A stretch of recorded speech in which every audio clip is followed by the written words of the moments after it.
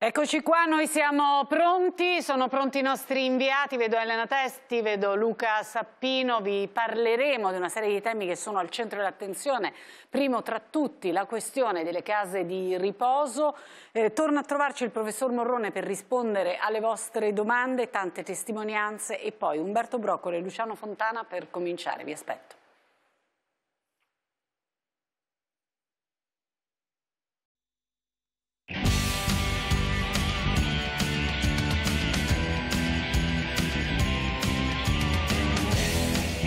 Buon pomeriggio, bentrovati, bentornati a Tagadà, buon pomeriggio ad Alessio Orsinger che voi non avete potuto vedere, no, però diciamo meglio. oggi cominciamo col sorriso perché si è fiondato in studio, ha fatto metri. una corsa che è... Eh? Fatti 100 metri. Questo basta per un mese Ho adesso. già il piatone. No, adesso smetti di fare attività fisica, questo è già il massimo che puoi dare.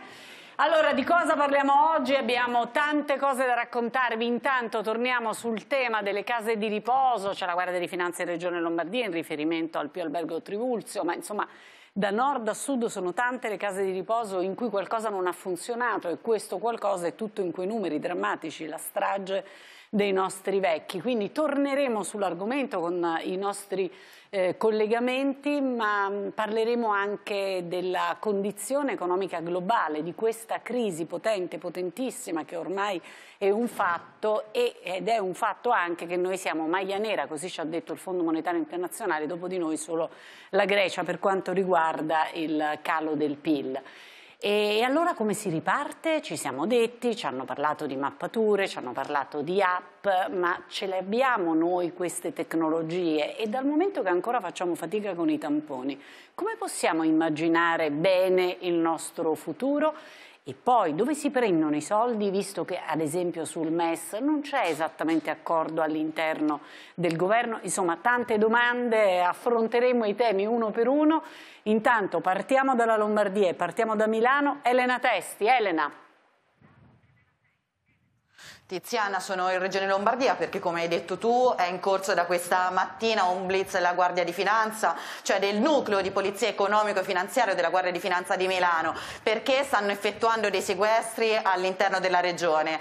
Eh, Un'indagine che parte dal Pio Albergo Trivulzio, ve lo ricordo ieri insomma, la Guardia di Finanza è stata 17 ore all'interno del polo geriatrico più grande d'Italia per fare chiarezza sulle centinaia di morti che si sono verificati all'interno e fare, cercare di capire eh, se sono stati presi tutti i dispositivi di sicurezza possibili, se quelle morti sono effettivamente riferibili tutti all'epidemia di coronavirus e eh, ci si sta muovendo su più fronti perché ci si chiede se le 20 persone entrate all'interno della struttura dopo lo scoppio dell'epidemia era insomma, necessario farle entrare, forse sarebbe stato meglio chiudere eh, i tamponi, quanti sono stati fatti e se ne sono stati fatti abbastanza e poi le cartelle cliniche, quelle cartelle cliniche che ancora non sono chiare e che forse potrebbero dare delle risposte. Eh, all'interno invece della regione si sta facendo dei sequestri riguardanti eh, alle dichiarazioni, cioè a quelle mh, direttive che la regione Lombardia avrebbe dato all'RSA, cioè quali sono state queste direttive? Erano abbastanza ci sono delle possibili responsabilità e queste le domande che si sta ponendo la Procura di Milano. Vi dico che più tardi vi racconteremo anche un'altra storia di un'altra RSA, anche lì tante le morti e anche lì tante le denunce del personale sanitario. E poi vi dico quello che ha detto invece la Regione Lombardia perché comunque ha voluto fare una dichiarazione il Presidente Attilio Fontana dicendo noi adesso siamo impegnati a combattere contro il coronavirus ma abbiamo massimo rispetto per per le indagini. Infine vi darei il bollettino, quello che vi do ogni giorno da questa regione, sono 1012 i contagi in più eh, che riguardano i tamponi, che tamponi comunque sono stati fatti in meno rispetto agli altri giorni, questo per la stessa ammissione dell'assessorato ed è stato proprio Giulio Garlera, l'assessore al welfare, a dichiarare Adesso però deve iniziare un'altra fase, quella della quotidianità, una quotidianità che insomma qui stenta a riprendere perché come sappiamo le ordinanze sono stringenti e poi vi do l'ultimo dato, quello dei decessi e sono purtroppo 241, sempre tanti e il totale è di 11.142 dall'inizio della crisi. Grazie Elena, dalla Lombardia ci spostiamo nel Lazio, c'è Luca Sappino. Luca. Sì, Tiziana, io sono a Rocca di Papa, uno dei comuni dei Castelli, alle porte di Roma. Eh, quello che vede alle mie spalle è diciamo, il primo posto di blocco di quella che sarà una vera e propria zona rossa che non coinvolgerà, come in alcuni precedenti, pensiamo al comune di Nerola, il comune di Rocca di Papa, ma che eh, circoscrive questa struttura sanitaria. Questa è una casa di riposo, ci sono tre padiglioni che Valeria può forse mostrarti, è una residenza per anziani, eh, è un hospice, è una lungodegenza eh, qui da eh, ieri eh, c'è un'esplosione dei positivi. Eh, pensate, ieri sui 146 positivi eh, contati nella regione Lazio, 95 venivano dall'RSA e 64 da questa struttura, dove al momento si contano 86 positivi, 71 tra i degenti 15 tra gli operatori eh, sanitari, medici e infermieri. Solo il 10 aprile, cinque giorni fa, erano 12, quindi c'è stata un'impennata dei contagi negli ultimi eh, giorni e ci si chiede come sia possibile, visto che diciamo, è noto il problema delle eh, residenze per anziani, del, dei contagi all'interno di queste eh, strutture. Ci sono stati anche già eh, quattro decessi e diciamo, l'area rossa, rossa, la zona rossa che ti ho mostrato verrà allargata nelle prossime ore, sarà impossibile avvicinarsi a questa struttura, verranno contingentati gli ingressi, potranno ancora entrare gli operatori sanitari e i lavoratori, eh, chi effettua servizi in questa struttura, ma gli verrà misurata eh, la febbre e eh, la pressione con i termoscanner.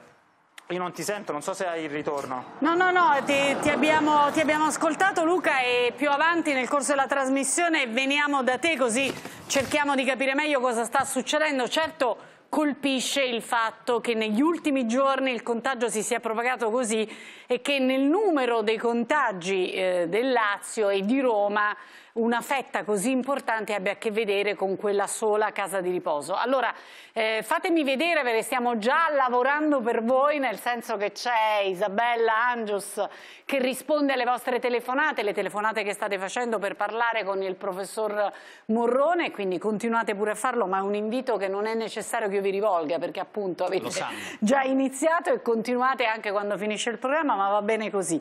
Saluto Umberto Broccoli, scrittore, archeologo, conduttore televisivo eccetera, eccetera, eccetera. Ben trovato e bentornato ben, a Tagadà. Bentrovati, bentornati, grazie. Saluto in collegamento Luciano Fontana, direttore del Corriere della Sera. Ben trovato, direttore. Sì, buongiorno a tutti. Direttore, io oggi voglio partire con una cosa che mi ha scaldato il cuore. Corriere della Sera, prima pagina del Corriere.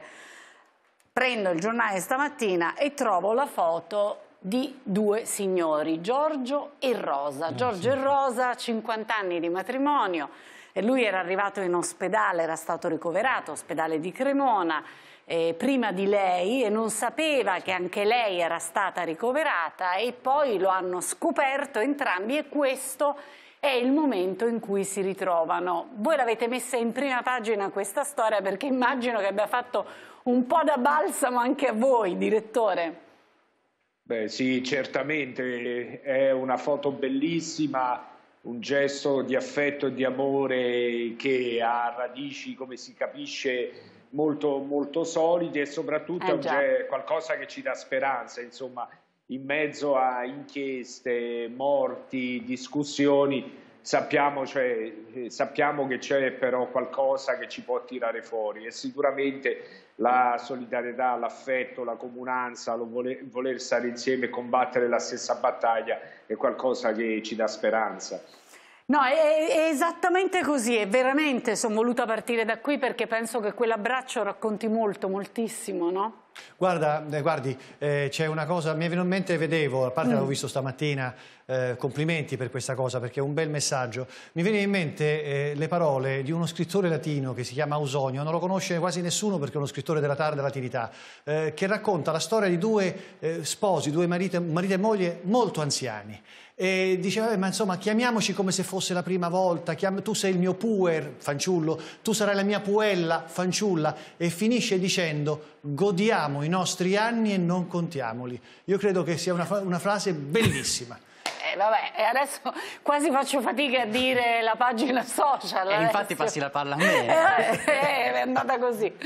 Attacco col muro a due, va bene. Eh, le questioni economiche in primo piano anche nella narrazione social. Oggi su Twitter c'è grande preoccupazione per il contagio economico e per la risposta del sistema paese e della politica al contagio economico.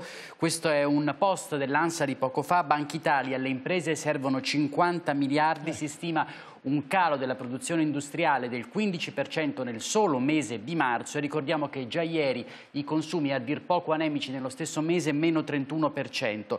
La reazione della politica, l'Italia non ha colpe, l'Unione Europea deve capirlo, la linea Bay un passo in avanti ma la vera domanda è bastano i soldi messi sul piatto, lo scrive su Twitter il ministro degli esteri Di Maio che invita a raggiungere un accordo e a non accettare qualsiasi compromesso. E poi c'è tutto il tema corposo oneroso delle multe a chi contravviene alle disposizioni del decreto resto in casa.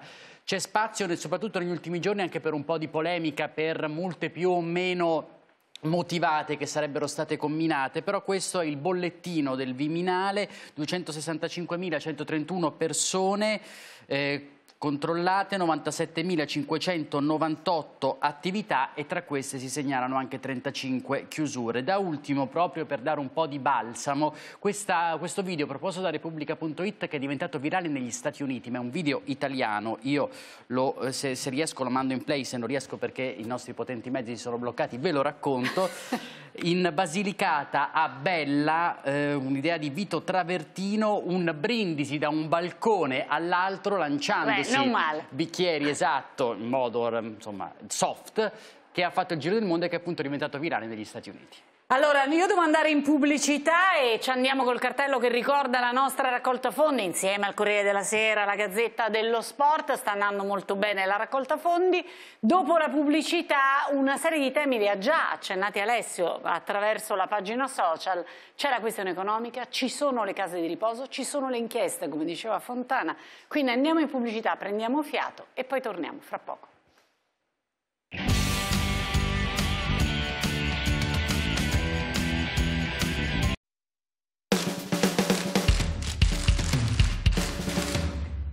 Eccoci qua di nuovo in studio, siamo in compagnia di Umberto Broccoli, di Luciano Fontana. Fontana riparto da lei e riparto con um, un capitolo che è un capitolo veramente penoso no? del racconto di questo um, vissuto che tutti noi condividiamo, cioè di questo viaggio nel Covid. Ed è il capitolo relativo alle case di riposo per gli anziani. Eh, stiamo parlando di una strage, credo si possa dire così, numeri francamente che fanno impressione. Allora la domanda è, adesso poi ci sono le inchieste, la Guardia di Finanza, c'è la Lombardia, ma non c'è solo la Lombardia perché il tema delle case di riposo va da nord a sud. La domanda che io le faccio è, non abbiamo saputo e non sappiamo proteggere i nostri anziani e questo quanto racconta di noi? Sì, certamente questo è il vero caso di questa epidemia perché Sapevamo dall'inizio che il virus era particolarmente violento nei confronti degli anziani, che c'erano tanti anziani insieme nelle case di riposo, quindi la logica avrebbe voluto che le case di riposo eh, dovessero essere il primo, il primo, sistema da proteggere, da chiudere, mettere in sicurezza, isolare rispetto all'esterno, fare tutti i tamponi necessari, dare tutti gli strumenti di protezione al, al personale sanitario e agli ospiti delle case di riposo. Questo non è stato fatto, non è stato fatto anche perché diciamo, abbiamo dovuto combattere improvvisamente qualcosa che non conoscevamo e che ci ha colto, ci ha colto di sorpresa. Però rispetto ai primi momenti poi quello che è accaduto dopo dimostra, dimostra che qualcosa non ha funzionato. Ancora oggi nelle case di riposo della Lombardia i tamponi sono stati 1771 su 16.000 ospiti, quindi praticamente il certo. 10%, il 90% degli anziani ancora non sono stati verificati, non sappiamo bene se sono stati contagiati, se sono positivi e se possono contagiare le altre persone. Le direttive, se ci sono state, forse non erano chiare oppure non sono state applicate bene.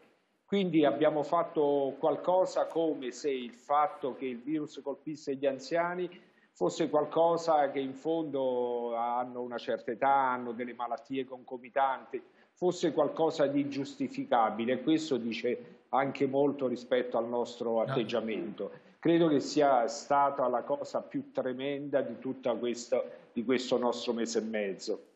Lo, lo credo anch'io sinceramente ed è per questo, quindi lo chiedo anche a Broccoli, che la domanda che mi faccio è d'accordo, racconta di un, di, probabilmente di negligenze, comunque di qualcosa che non ha funzionato e lo ribadisco, non ha funzionato da nord a sud, poi torniamo alla regione Lombardia casomai, però diciamo che c'è in questo una vicinanza tra il nord e il sud del paese, perché le case di riposo sono un tema anche in altre regioni. E però racconta delle negligenze, racconta dell'incapacità di gestire l'emergenza, ma forse racconta anche della nostra idea rispetto alla vecchiaia. Oh mamma mia, è giustissimo quello che sta dicendo perché un paese che non riesce a tutelare, hai detto bene, vecchiaia, perché vecchiaia. è un eufemismo, no? Anziani, terza eh età, no, i vecchi. Eh, ma perché anche la scelta delle parole, eh, no? I vecchi. Perché noi le abbiamo proprio eliminate ma se, se, qualche anno fa andava di moda il termine rottamare. Rottamare cosa significa? Vuol dire mettere, rottamare come le automobili, no? A un certo punto si mette in magazzino e vengono compresse e distrutte le macchine che non servono più. Stiamo parlando di esseri umani, questa non è retorica la mia, Io detesto la retorica, tant'è che uso la parola vecchi, c'è una canzone di Claudio Baglioni stupenda sui vecchi dell'81 che racconta la bellezza di una Chiusi memoria... in cucina se viene qualcuno. Eh sì, appunto, i vecchi sulle panchine dei giardini. Ecco, se noi noi non abbiamo tutela della nostra memoria, noi non avremo futuro, perché chi non conserva il passato non conserva il futuro. Questo lo diceva Gheorghe Santayana, che è un filosofo degli anni 50, eh, madrileno, poi americano, morto a Roma, che diceva che chi non conosce la propria storia, la conserva, è condannato a riviverla. E in questo senso quello che è accaduto ci racconta di noi. Alessio? E la parola tutela è una parola che si può sposare anche con la tutela economica e diciamo che di segnali della tutela economica ne vediamo pochi o almeno gli osservatori internazionali li vedono molto pochi. Il Fondo Monetario Internazionale ieri ha detto meno 9% il PIL, ora ha dato, ha dato nuovi dati sul debito pubblico italiano sarà al 155,5% del nostro prodotto interno lordo, un balzo di quasi 20 punti percentuali rispetto alla situazione attuale, saremo secondi solo al Giappone e il deficit nel 2020 all'8,3%. Scenderà poi nel 2021 al 3,5%, ma sono numeri molto preoccupanti. Allora Fontana, il tema economico è il tema con il quale dobbiamo confrontarci anche perché questi sono i giorni nei quali si parla di questa benedetta riapertura, di questo ricominciare, di questa fase 2, no? Allora la fase 2 richiede almeno due cose. La prima, quella di capire dove si prendono i soldi, perché sappiamo che questo blocco ha significato una grave perdita economica. La seconda, deciderlo dove si prendono i soldi e quali sono le mosse da fare, deciderlo possibilmente insieme. L'unità nazionale, si ricorda quella frase brutta che non si usa più, che è, diciamo, è stata vera per tre minuti più o meno. Ecco, noi siamo invece nella condizione in cui se si parla di MES, arriva la parolaccia MES e quindi all'interno della maggioranza di governo si rompono gli equilibri, arriva il veleno e come se oggi scrive, mm, mi piaceva molto eh, Massimo Franco che dice come se ci fosse un rigurgito no, dell'antipolitica però sembra totalmente fuori tempo. Prego direttore. Ma sì, io speravo e lo speravano credo tutti gli italiani che questa crisi così grave portasse a qualche cambiamento anche nel comportamento della nostra classe politica. Avevamo sperato in un minimo di sforzo comune, in obiettivi condivisi e un, ed è un modo di rapportarsi della politica profondamente, profondamente diverso. Mi sembra che passata la prima fase invece ci stiamo avviando di nuovo in una situazione come tutto quello che sta accadendo non, non ci fosse come non ci fossero i morti, come non ci fossero le fabbriche chiuse, le città deserte, come, come non ci fosse una previsione del 9% di perdita del PIL. Allora, quello che si può dire, lo sforzo che dobbiamo fare sarà uno sforzo straordinario. richiede impegno, energie, tantissime disponibilità economiche, il coinvolgimento di tutta l'Europa e richiede un minimo di traccia comune perché come si potrà andare a chiedere ai cittadini di fare sacrifici, di riaffrontare questa fase che è come un dopoguerra se passiamo tutte le giornate ad ascoltare che allora il MES, le condizionalità li prendiamo, non li prendiamo, avete tradito l'Italia, insomma ci vuole un po' di buonsenso, recupero del senso del paese e soprattutto efficacia e rapidità. Ecco, tutto questo mi sembra che non stia accadendo eh sì. ed è altamente desolante, diciamolo così. Senta Broccoli, è come se diciamo, quel concetto di unità nazionale che pure avevamo festeggiato, ribadisco, per tre minuti fosse stato un equivoco. Cioè in Italia il concetto di unità nazionale... Beh, ma eh, ricordo un altro momento della nostra unità nazionale che però fece frutti. 1978 anno difficilissimo per la storia del nostro Paese, forse l'anno più cupo dal punto di vista politico. Ricordiamo tre papi, due presidenti della Repubblica, le, e, e l'affair Moro soprattutto. Eh, no? e, quindi ci fu questo momento difficilissimo per cui tutti quanti, ma successe, ci fu, una, sì, ci fu un'unità nazionale contro il terrorismo. Ora Paradossalmente, non voglio essere equivocato, eh, quella stagione, che è una stagione politica legata al terrorismo, è stata superata, è stata superata tutti insieme realmente, ma ci fu, ci fu un governo con l'appoggio di tutte le forze politiche. Questa che è, come dice Fontana, ci prepariamo al dopoguerra, eh, bisogna che troviamo le energie per affrontarlo insieme, tanto più che ci saranno macerie emotive enormi, rispetto alle quali secondo me ancora non abbiamo neanche capito quali strumenti adoperare. Beh, viviamo in una sorta di bolla, sospesi un po' tutti quanti, no? eh, in attesa di un qualche cosa che deve accadere ancora. Ma che accadrà?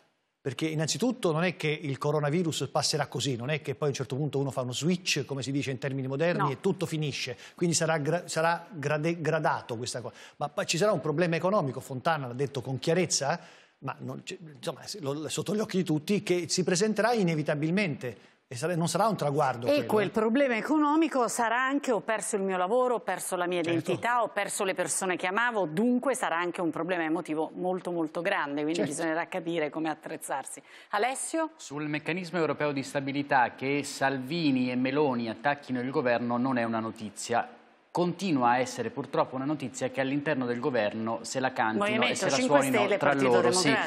Il 5 Stelle all'attacco del PD, il sottosegretario agli esteri Manlio Di Stefano, rivolgendosi a Graziano Del Rio, ha detto vai alla cieca contro il governo e tutto il Movimento 5 Stelle, l'abbiamo visto anche poco fa nel post di Luigi Di Maio, fa quadrato sul no al nuovo MES. E, ehm, mh, direttore, mi, mi, veniva in mente mentre Alessio parlava, stavo provando a farmi uno, schie, uno schemino no, per capire come sono le forze in campo. Allora diciamo che c'è una conflittualità tra noi e l'Europa, perlomeno una parte dell'Europa. Poi all'interno dell'Italia c'è una conflittualità tra maggioranza e opposizione, poi c'è una conflittualità tra eh, all'interno della maggioranza il PD e il Movimento 5 Stelle. Poi, per grazia di Dio, abbiamo anche problemi tra il governo centrale e le regioni. A me è venuto mal di testa mentre lo facevo lo schemino, diciamo che questo non ci fa sperare bene. Per niente, non ci fa sperare bene per niente ed è la dimostrazione che dopo un po' di tempo, qualche settimana in cui la gravità della situazione aveva messo un po' a registro esatto, tutte, sì. tutte queste cose, adesso si ritorna come se niente fosse accaduto.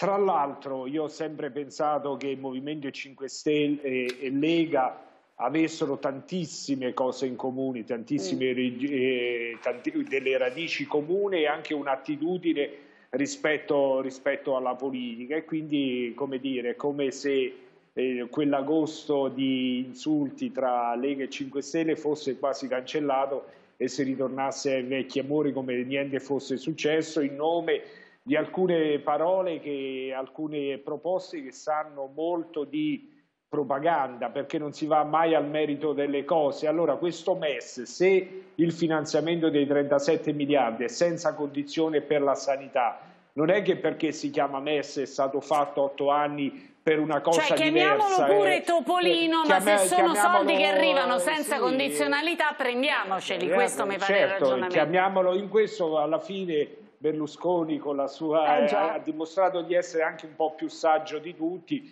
chiamiamolo chip chop, chiamiamolo come volete, togliamo le condizionalità, ma mettiamo immediatamente delle, prendiamo immediatamente risorse disponibili, altrimenti qui c'è gente che è rimasta senza lavoro, fabbriche, fabbriche ferme, vite sospese, ma quando ripartiamo in queste condizioni? C'è un'ultima cosa, direttore, che mi piaceva commentare, siccome oggi ho letto con attenzione l'articolo della Gabbanele di Simona Ravizza, a proposito delle domande alle quali a questo punto è necessario che la Lombardia risponda, no? eh, il tema, la questione è il numero delle vittime. Ora, io ogni volta che parlo della Lombardia penso anche all'onda che è arrivata sulla Lombardia, alla violenza con cui quell'onda si è abbattuta sulla Lombardia prima ancora che su tutte le altre regioni. E però, malgrado questo, poi ci sono una serie di cose che non tornano e la Garbanella e la Ravizza mh, pongono, mi pare, sei domande, no? in particolare, affrontano sei questioni. Io le chiedo, a questo punto è indispensabile, proprio perché dobbiamo ragionare di quello che succederà, capire cosa è successo e quindi è indispensabile che la Lombardia interroghi se stessa e dia delle risposte? Ma io credo sia indispensabile partendo da un punto sicuramente fermo, che la Lombardia è stato l'epicentro di questa, esatto, certo. della diffusione del virus, quindi la violenza che ha dovuto subire la Lombardia non ha paragoni rispetto al resto dell'Italia, altrimenti sarebbe ingeneroso, ingeneroso non, certo. eh, non, riconoscerlo. Dopodiché ci sono sicuramente alcune cose eh, che meritano risposte e soprattutto ci sono alcune cose che dobbiamo fare per ripartire, perché se la sanità territoriale, una sanità che interviene prima, che previene, che mette in sicurezza le persone prima di portarle nei nostri eccellenti ospedali non funziona, significa che anche tutto quello che dovremmo fare in termini di test, di isolamento, di, di ripartenza non funzionerà. Quindi questi interrogativi servono a preparare la, la fase 2 e servono forse anche a cambiare le cose che non hanno, che non hanno funzionato. Adesso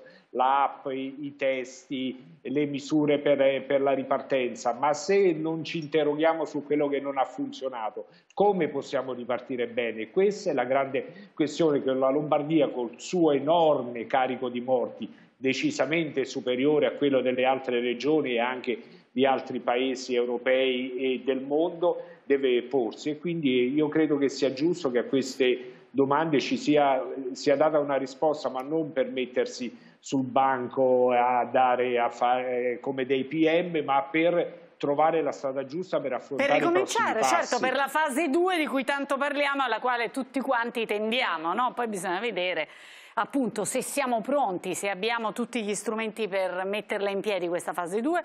Eh, mi fate rivedere la foto di Rosa e Giorgio, quella da cui siamo partiti, Broccoli, perché io oggi sarà che ho il cuore fragile, eh beh, però se, se guardo quella foto veramente mi commuovo ed è diciamo a partire da questa foto che chiedo a Broccoli, questo è il nostro rito prima di salutarci, andrà tutto bene perché? Andrà tutto bene perché? Perché deve andare bene. Solo questo posso dire, anche se, appunto, c'è per forza, anche se tutti gli indicatori che Fontana ha riassunto perfettamente, che tutti noi vediamo sotto gli occhi, eh, ci lasciano leggermente tentennanti. Perplessi. Perplessi. E Fontana andrà tutto bene perché lo sa che non si può sfuggire all'ultima domanda, no? Ma perché credo che persone italiani come quelli di quella foto ci danno la, fo ci danno la forza per ripartire. Io credo che lì è la, la grande forza individuale del Paese. Insomma, andrà tutto bene per questo. Evviva direttore, grazie per essere stato con grazie. noi, buon lavoro, buon lavoro ad Umberto Broccoli. Facciamo entrare il professore Aldo Morrone, direttore scientifico dell'Istituto San Gallicano di Roma, che è con noi ancora di nuovo e per questo lo ringrazio per rispondere alle vostre domande. Dovrebbe essere collegato con noi Roberto Arditi, direttore di formiche.net. Eccoci, ben trovato. Ecco, allora, ricordiamo il, numero di telefono per parlare col professor Morrone. Mi permetto di dire, e poi anche come ci devono scrivere in altri modi attraverso l'hashtag, eh, però mh, volevo segnalarvi, lo fate già e vi voglio però ufficialmente autorizzare, potete scriverci anche a prescindere dalle domande che pure avete voglia o bisogno di fare ai nostri esperti, potete scriverci anche delle vostre esperienze o di altre domande, altre questioni, insomma voi ponetecele noi proviamo a darvi le risposte. Prego Alessio.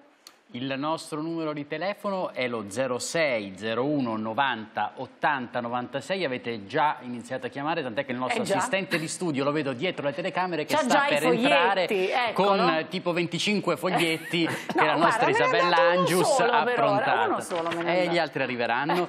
e su Twitter invece avete già cominciato a scrivere, l'hashtag è all'esperto chiedo, l'indirizzo mail invece è tagada chiocciolala7.it. E adesso il numero dei contatti contagi.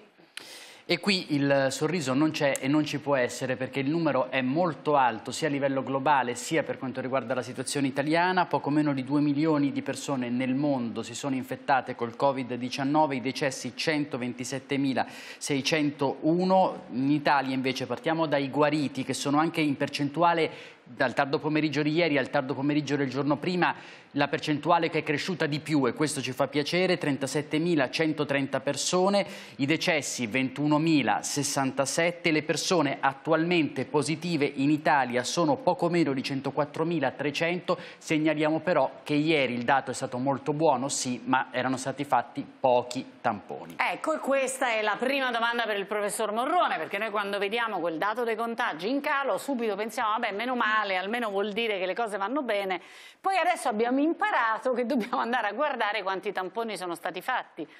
Cioè non è un caso, se fai meno tamponi avrai meno, meno, positivi al contagio. Però di quel dato c'è un elemento mm. molto buono. Il numero minore di decessi è determinato dalla capacità di curare meglio le persone ricoverate Perché con gli fasi iniziali. sono meno esatto. E poi operati. un numero ridotto di persone in terapia intensiva.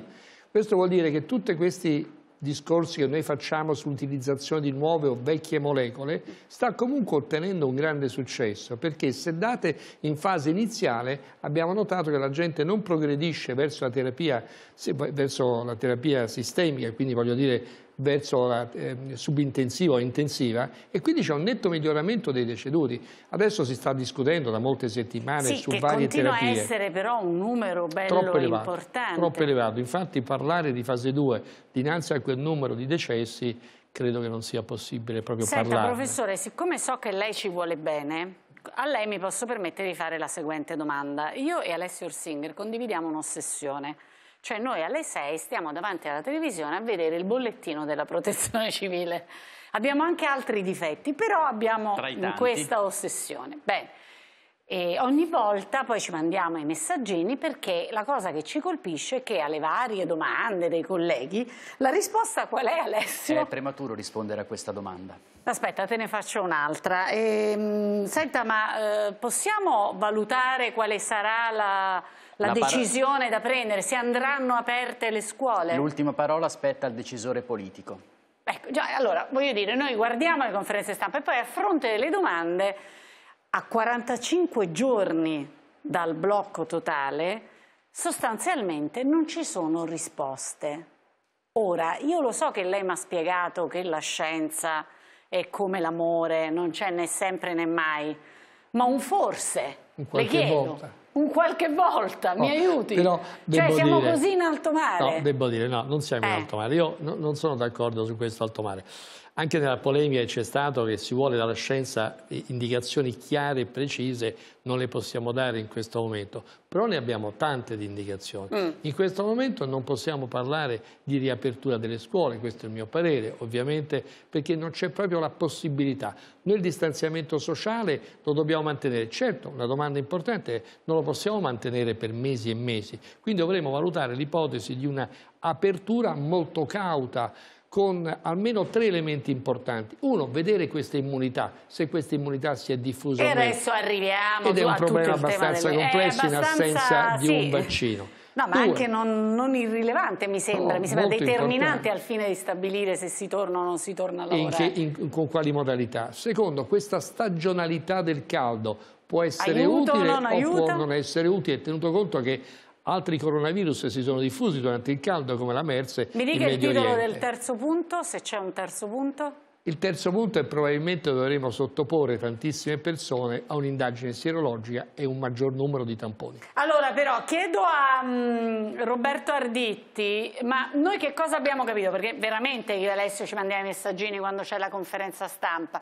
Però qual è il punto? Il punto sono le incertezze della scienza o invece la responsabilità politica che ad un certo punto deve farsi carico anche delle incertezze? La domanda è molto impegnativa Tiziana, eh, la scienza eh, sta facendo il suo secondo me con grande serietà, affrontando un'emergenza che tale è stata con molti aspetti nuovi e i medici fanno la loro parte. La mia opinione è che noi, abbiamo, noi come Sistema Italia abbiamo montato questo appuntamento delle, delle 18 che tra l'altro continua a darci dei numeri Sì, no, ma io so l'opinione di Arditti, diciamo, eh, su quella conferenza stampa. E, e quindi, Perché Arditti l'ha detto a chiare lettere, lo ricordo eh. a chi non lo ricordasse, ha detto non servono a niente quei numeri perché sono tutti inevitabilmente falsi, perché non tengono conto del sommerso e quindi ciascuno di quei numeri è discutibile.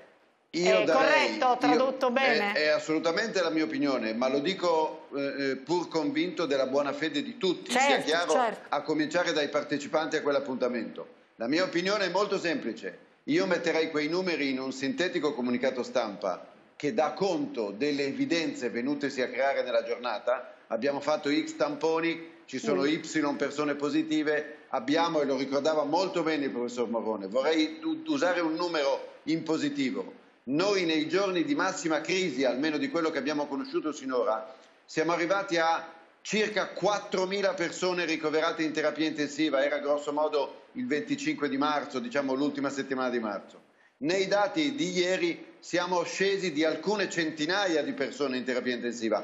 Questo è il segnale, è come il professore diceva molto meglio di me, che stiamo imparando a combattere questa malattia con una certa efficacia.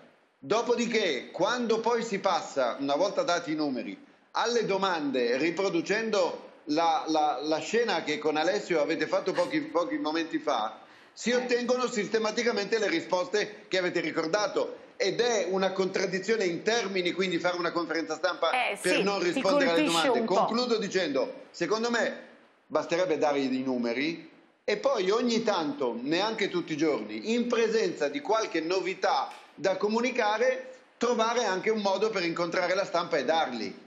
Tutto qua. Chiaro, chiarissimo. Mi fate vedere se ho sia Elena che Sappino, se ci sono i collegamenti? Nessuno dei due in questo momento? Mi fate vedere, mi aprite Sappino? Perché Elena eh, credo che al momento non ci sia. Eccolo, Luca.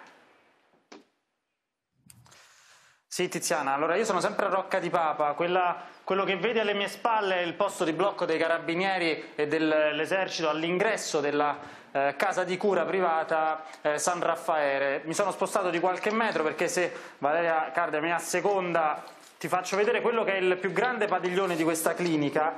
Lì è appena entrata una eh, della Croce Rossa, di quelle, della Croce Rossa, di quelle che abbiamo visto tante volte purtroppo in questi mesi, di quelle ad alto biocontenimento. Dentro questa eh, casa di cura privata ci sono l'abbiamo detto nel primo collegamento, 86 casi positivi, sono 71 dei degenti diciamo, sono anziani ospitati in questa struttura che ha la lungodegenza, l'hospice, ha la residenza per anziani e 15 gli operatori. Gli operatori ovviamente non sono dentro ma sono in isolamento domiciliare eh, mentre gli 86, scusami, mentre i pazienti che sono positivi e che erano ospitati degenti. sono dentro ancora i degenti.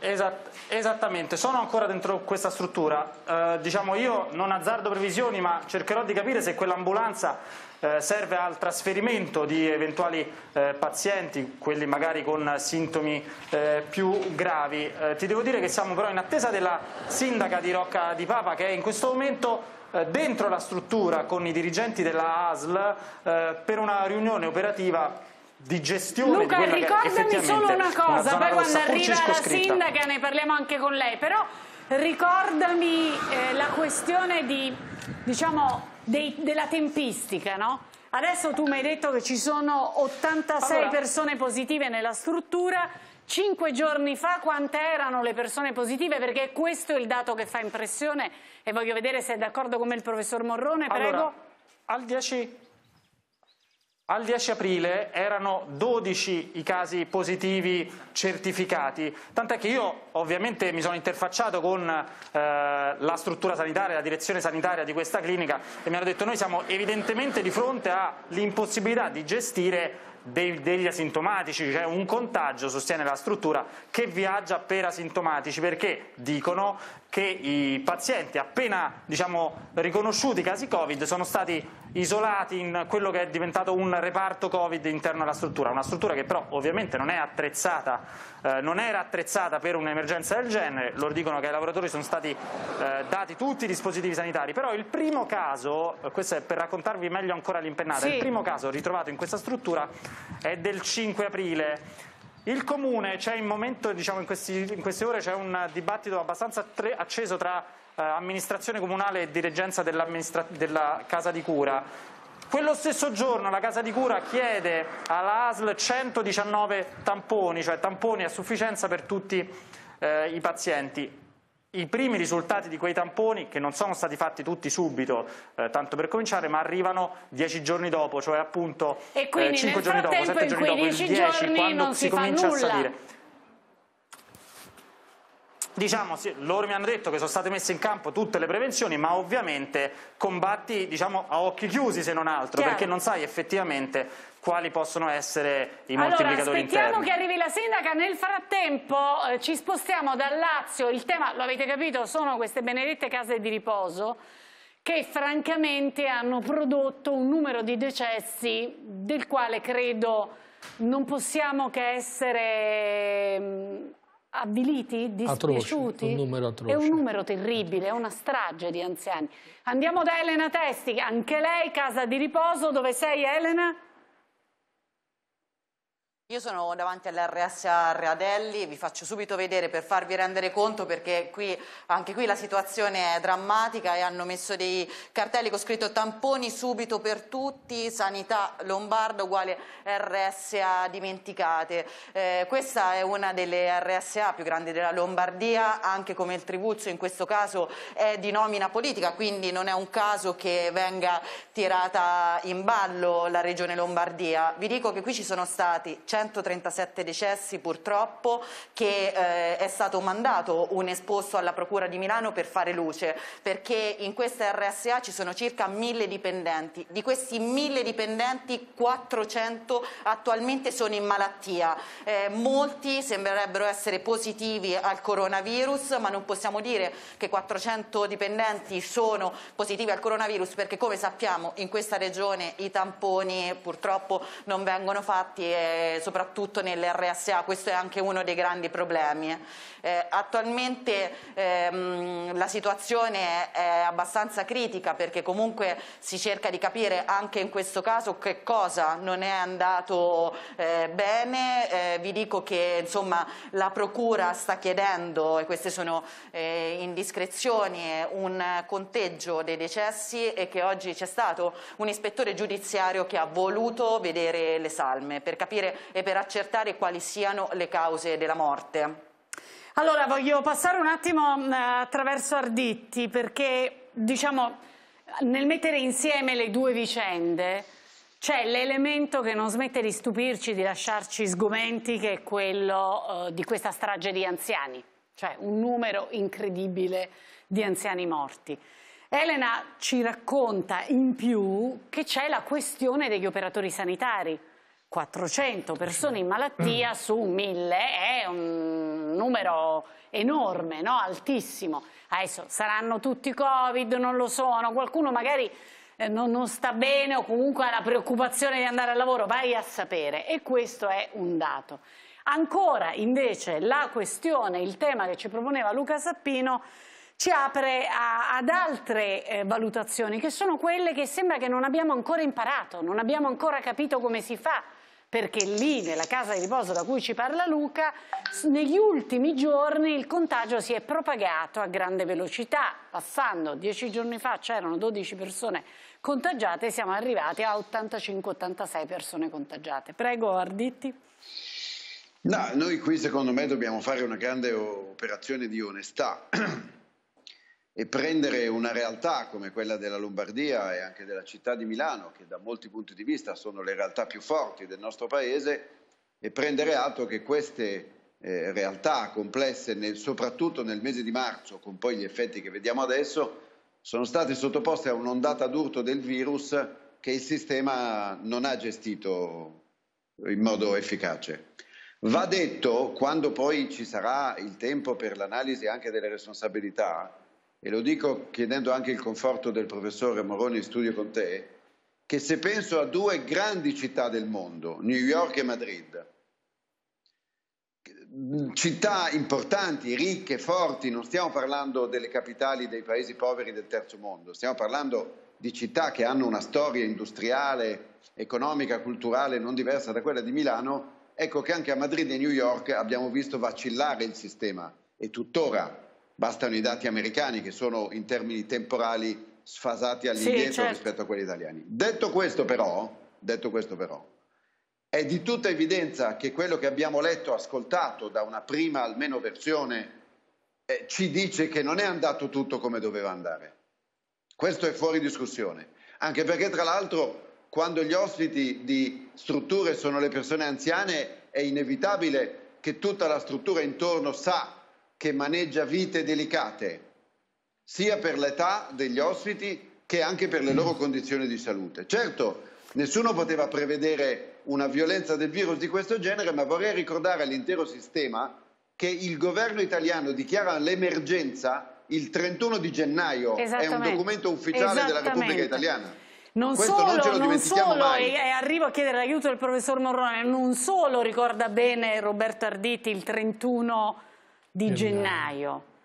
Ma noi stiamo parlando del 10 aprile e qui voglio veramente l'aiuto di Morrone perché il 10 di aprile entrano delle voci che non so esattamente di chi siano ma non importa, ci fanno compagnia. 10 di aprile nella struttura da cui ci parla Sappino c'erano eh, 12 casi di positività Passano un po' di giorni, arriviamo ad oggi, oggi è, non voglio dire sciocchezze, 15 il 15 aprile. Passano 5 giorni e il numero dei positivi è 86. Allora la domanda che mi faccio io è A, non abbiamo imparato nulla? B, in conseguenza di questa domanda, se qualcosa abbiamo imparato vuol dire che allora non abbiamo strumenti nei confronti del contagio da coronavirus? C'è un errore di fondo che noi abbiamo fatto che è quello di aver lesinato il numero dei tamponi da eseguire perché probabilmente all'inizio c'erano pochi laboratori che potessero poi lavorare ovviamente i tamponi perché c'è una necessità di una biologia molecolare abbastanza complessa. Quindi primo errore.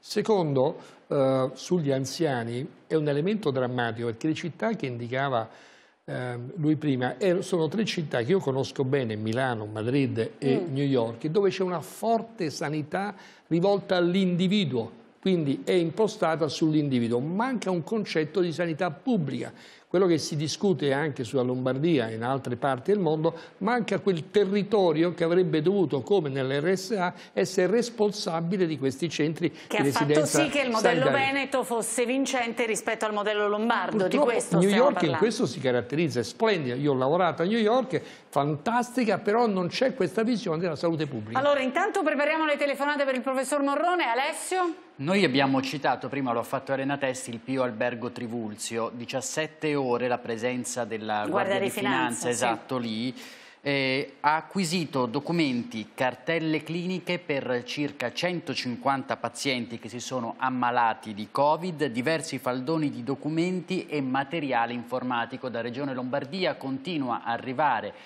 la dichiarazione di massima collaborazione con le autorità inquirenti per quanto riguarda questa indagine. Apriamo le telefonate, dovrebbe esserci Marcella al telefono. Marcella, ben trovata. Bentrovati a voi e grazie della possibilità che ci date, veramente importante, guardate, veramente. Grazie, prego, allora, faccia pure la sua poi domanda. permettimi una cosa Tiziano, da farti sì. complimenti perché come diciamo a Roma non porti in groppa nessuno ed è pochissime persone che conducono trasmissioni che lo fanno, veramente tanti complimenti. Grazie, allora, grazie davvero. Volevo, a te, volevo chiedere al professore, eh, ci hanno detto che questo virus ha un'incubazione di 15 giorni come mai che sono passati più di 40 giorni e ancora c'è gente come ieri che si ammala, sono 600 mi sembra, sono persone che sono, hanno continuato ad uscire, cioè è un una curiosità, oppure il virus c'è più incubazione? Grazie Marcella, adesso sentiamo cosa dice il professor Morrone. In fondo questa è una domanda che ci fanno in tanti, tantissimi, cioè stiamo tutti in casa, stiamo facendo questo grande sacrificio tutti, sono 45 giorni e nel frattempo ogni giorno 1000, 1500 contagi, 1000, 2000 contagi, 3000 contagi. Come mai? Perché probabilmente 15 giorni fa o 3 settimane fa non eravamo tutti chiusi, qualcuno è uscito sui tempi di incubazione sono più brevi, vanno da 3 a 6 giorni fino ai famosi 15 giorni. Oggi si, ci si orienta anche addirittura verso una terza settimana. Bisogna tenere presente che si è scoperto che il livello di, di contagiosità del virus spesso è determinato anche due o tre giorni prima dell'inizio dei sintomi nei soggetti che avessero sintomi o fossero cosiddetti pauci sintomatici. Per cui è sicuramente questo gruppo di persone che può aver determinato la diffusione del virus. E cioè però stiamo dicendo che quelli che oggi risultano attraverso i tamponi contagiati, qualcuno li ha contagiati e ha contagiati mettiamo due o tre 15, settimane fa, 15 due tre fa, settimane fa quando già teoricamente non si doveva uscire di casa. Eh, ma qualcuno che era, noi abbiamo detto sempre che i soggetti che erano in casa non tutti probabilmente erano negativi al virus, probabilmente qualcuno di questi era stato contagiato prima, per cui io sono convinto che se noi facessimo un maggior numero di tamponi troveremo un maggior numero di soggetti contagiati. E quindi questo determina anche la discussione sulla fase 2 eh, è ancora da venire perché il numero dei contagiati è ancora troppo alto a mio parere per poter come dire, essere per poter immaginare, immaginare un'apertura e poi cauta. vediamo come si può riaprire a partire da cosa diciamo da quale tipo di mappatura queste però ha ragione la signora credo che la sua domanda però, fosse insomma, molto fa, intelligente eh sì, fa, fa certo. un certo effetto ehm, dovrebbe esserci Laura che chiama dalla provincia di Torino Laura? Sì, pronto? Ben trovata, prego sì, buongiorno. Buongiorno, grazie buongiorno. della telefonata. Prego, prego, eh, il professor Morrone l'ascolta. Sì. Eh, dunque, io l'11 marzo mia, la mia bimba, la mia figlia ha partorito una, la mia nipotina dall'11 marzo. Auguri. E io dall'11 marzo praticamente non vedo né mia nipotina né mia figlia. E, ehm, e quindi questa cosa qua è abbastanza dura. In più ho un compagno eh, che non abitiamo insieme, eh, che è cardiopatico e quindi, quindi, anche con lui ci vediamo e quindi praticamente io vivo nella mia solitudine con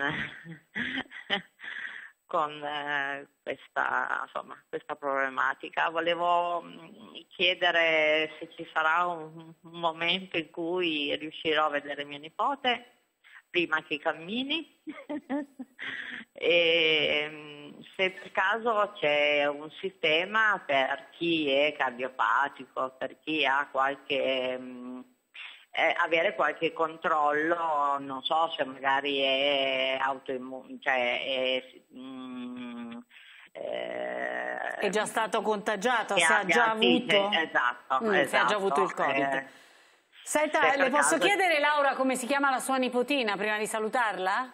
Mia nipotina si chiama Adele. No, bene, perché così almeno facciamo tutti noi gli auguri ad Adele. Adesso poi il professor Morrone ci dice se quando, insomma, ovviamente la potrà rivedere. Cerchiamo Cer di capire con Morrone se certamente è la una potrà cosa rivedere. che ragionevolmente devo... può accadere sì, presto. E devo dire che l'idea di arrivare al 3 maggio è perché poi si vuole comunque riaprire in maniera cauta queste opportunità Per il compagno devo dire che quando c'è una cardiopatia ci deve essere una maggiore attenzione perché questo virus colpisce più facilmente le condizioni respiratorie ma anche le condizioni cardiocircolatorie attraverso questo consumo particolare dell'eparina da cui emergono poi queste situazioni di trombosi o di coaguli, per cui una maggiore attenzione per il suo compagno, ma sono certo che potrà rivedere la nipotina presto.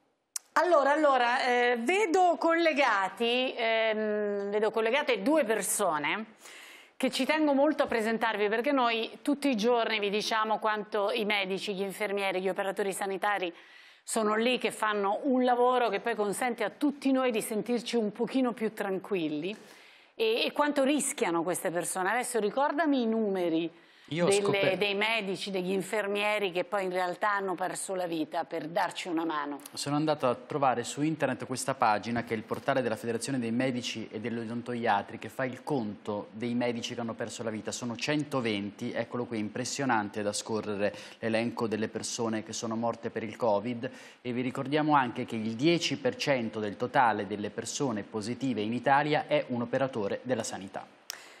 E allora noi ci siamo detti questi numeri corrispondono a delle persone, a delle storie, a dei medici. E chi erano questi medici? Come lavoravano? Come erano con i loro pazienti? Ehm, C'è una dottoressa la cui storia vogliamo raccontarvi. Lei si chiamava Samir Siniab, era un medico di base, aveva 62 anni, lavorava come medico di famiglia a Mira in provincia di Venezia in questa foto che state vedendo la vedete con i suoi due figli. Mi commuove un po' vedere questa foto, anche perché penso l'effetto che fa a Dania e a Rafi che sono qua con noi. Intanto grazie davvero per essere qui, per aver accettato il nostro invito. Buon pomeriggio. Buon pomeriggio a voi. Dunque, eh, vostra madre è morta il 9 aprile all'ospedale di Treviso, 31 giorni di terapia intensiva era stata ricoverata il 7 marzo e fino all'ultimo però aveva lavorato, è così Rafi? Dottor Rafi, perché poi lui è eh, medico legale, Dania è pediatra, è corretto? Esatto. Confermo. Allora, dottor Rafi, aveva lavorato fino all'ultimo? Guardi, in attesa del collegamento stavo sfogliando il telefonino di mia mamma, gli ultimi messaggi che ha mandato e lei la mattina, mentre il 7 marzo la stavamo portando a fare l'attacco di torace e viso, vedevo qui che stava consigliando a un paziente che era caduto di andare a farsi delle razze, questa la particolare caduta che, avevo, che aveva, e, e, lei non tanto si è recuperata prima in tecnologia e poi in terapia intensiva, ha continuato a scrivere con i pazienti fino all'ultimo. L'ultimo messaggio che ho trovato era che non solo consigli sull'assunzione della terapia, ma proprio la prescrizione del farmaco per un paziente. Sua madre era convinta di riuscire a tornare dai suoi pazienti? Sì. sì. Ci teneva tanto. Mi ricordo le, le, ultime parole che proprio mi ha detto quando ho lasciato la, la sorella l'ho accompagnata in pronto soccorso e si è girata e mi fa non dire niente ai miei pazienti voglio che si preoccupino e tornerò, andrà tutto. Dania, voi siete medici, lei non voleva che si preoccupassero i suoi pazienti, probabilmente ha fatto la mamma fino all'ultimo e non voleva che vi preoccupaste neanche voi, ma voi quanto eravate preoccupati? Noi eravamo molto preoccupati anche perché essendo entrambi medici eh, eravamo e siamo consapevoli certo. di, di tutto quanto. Nonostante questo però appunto nostra madre ci aveva raccomandato di portare avanti il suo lavoro e di non far preoccupare nessuno, soprattutto i suoi pazienti. E assolutamente, era il suo unico e grande desiderio e questo noi abbiamo fatto. Quanti pazienti seguiva sua madre, dottor Raffi? 1600 qualcosina. 1600? Sì. E aveva adeguati dispositivi di sicurezza? Allora, i dispositivi di sicurezza, ovviamente, usavamo le mascherine chirurgiche che c'erano state fornite. Mm. Però è scappato un sorriso alla parola dispositivi di sicurezza, sia a lei che a sua sorella, perché il tema è che quanti pazienti vedeva in una giornata vostra madre?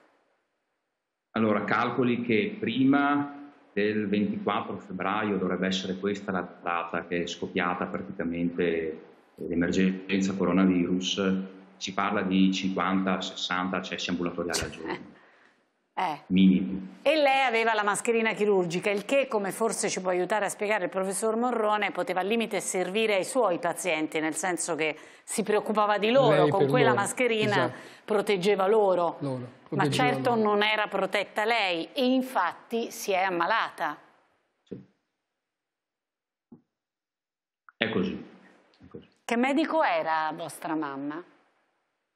Non era solo un medico mia mamma, mia mamma era il medico, mia mamma era l'amica, mia mamma era la psicologa, i messaggi di pazienti che mi dicono ho perso una sorella, ho perso una mamma.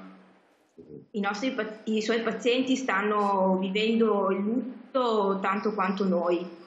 Eh, c'è un paese intero che, che sta piangendo perché non hanno perso solo la loro dottoressa, hanno perso una parte della loro famiglia.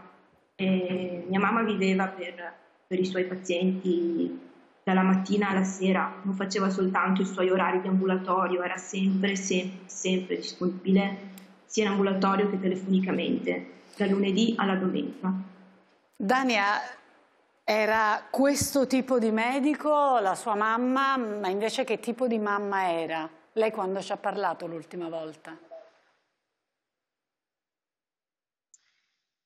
Mia madre era una madre esemplare, ehm, non ci sono molte parole. E ehm, da quando abbiamo perso mio papà 13 anni fa, anche lui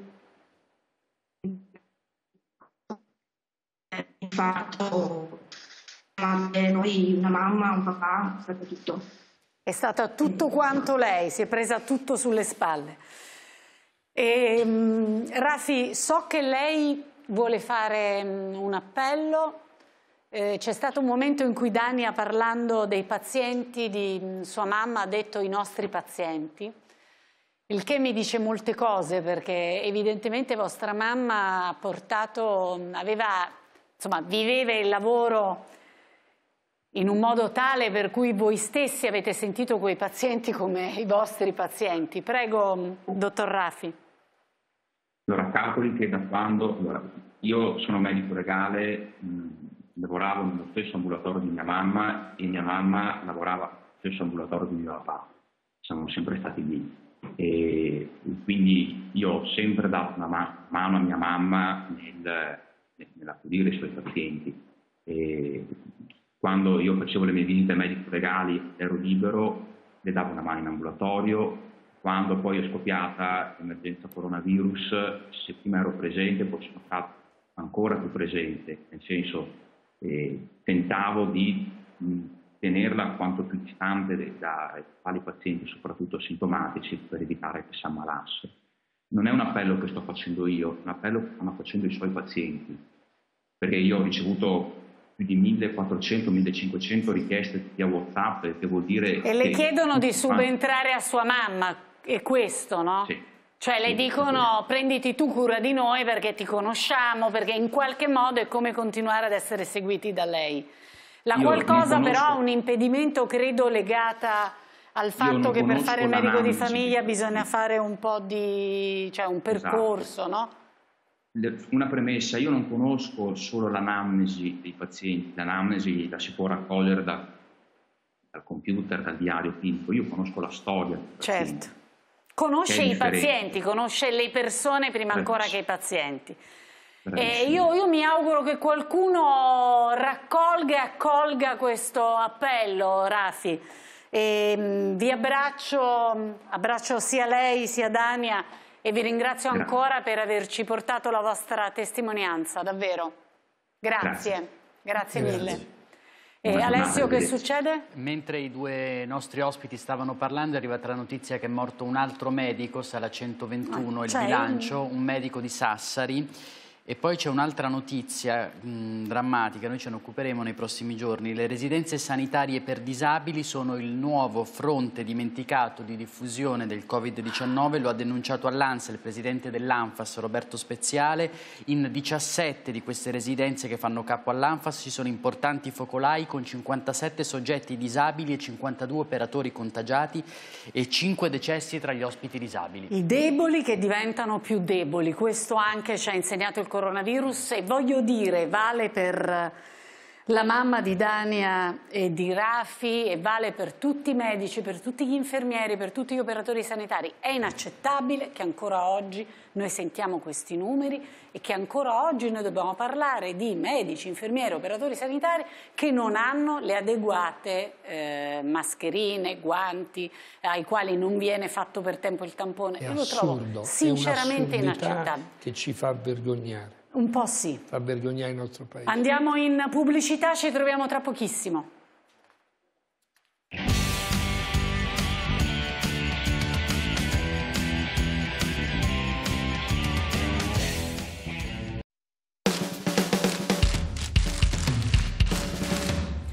Eccoci qua di nuovo in studio, sono con noi il professor Morrone che risponde alle vostre domande e non solo, anche alle nostre in verità.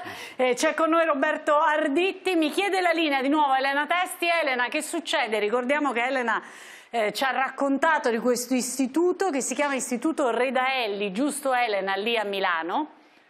che è una casa di riposo. Sì, Raccontaci velocemente i numeri e la ragione per cui sei lì, per chi non ci avesse seguito prima.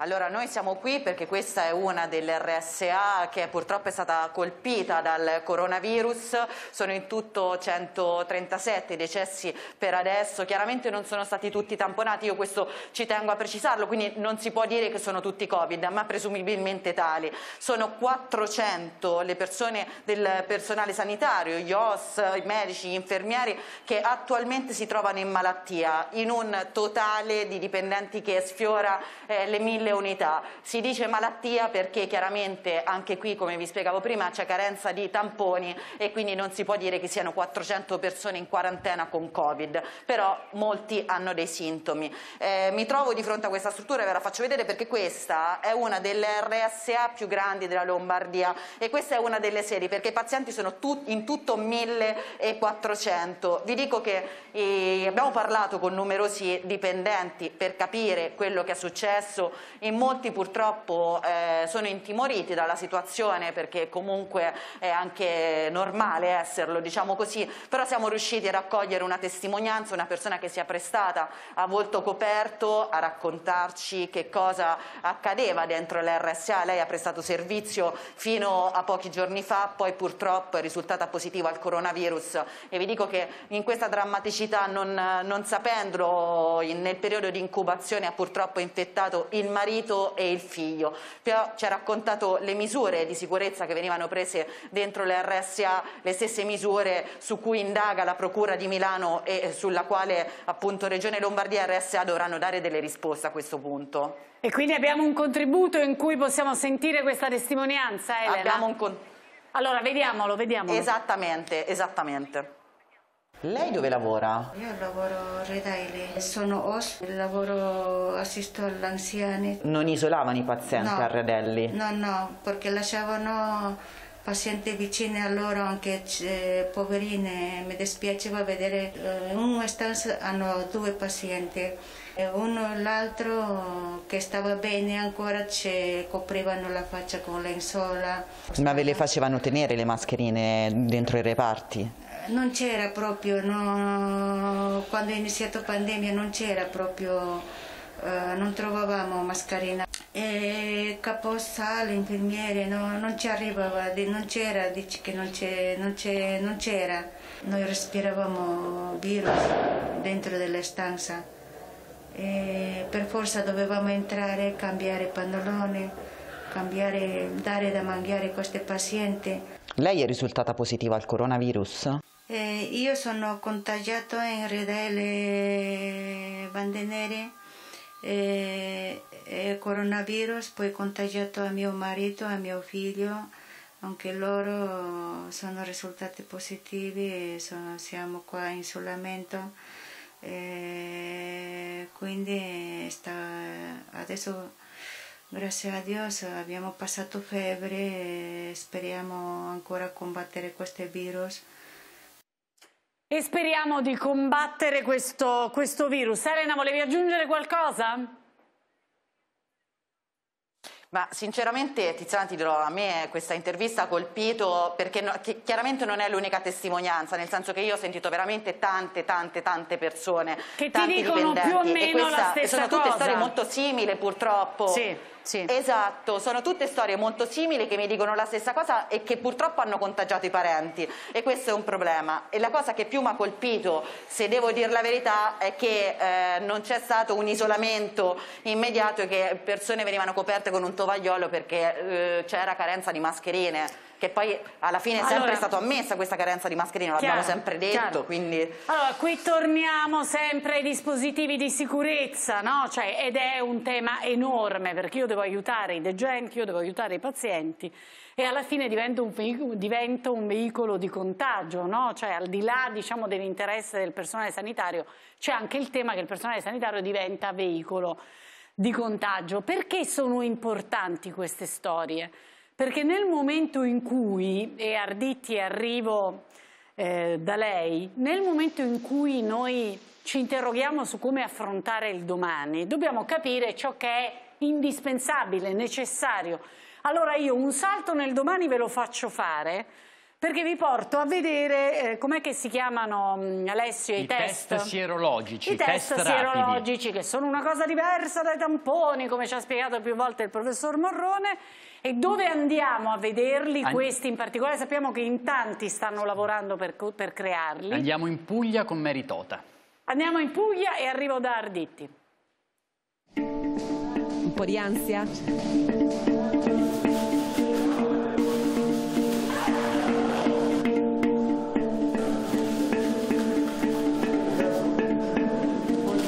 Che vedete tutti in fila sono consiglieri comunali, agenti di polizia municipale che il sindaco oggi sta sottoponendo ai test rapidi. Il primo è il comandante della polizia municipale, uno dei più esposti al contatto con la gente.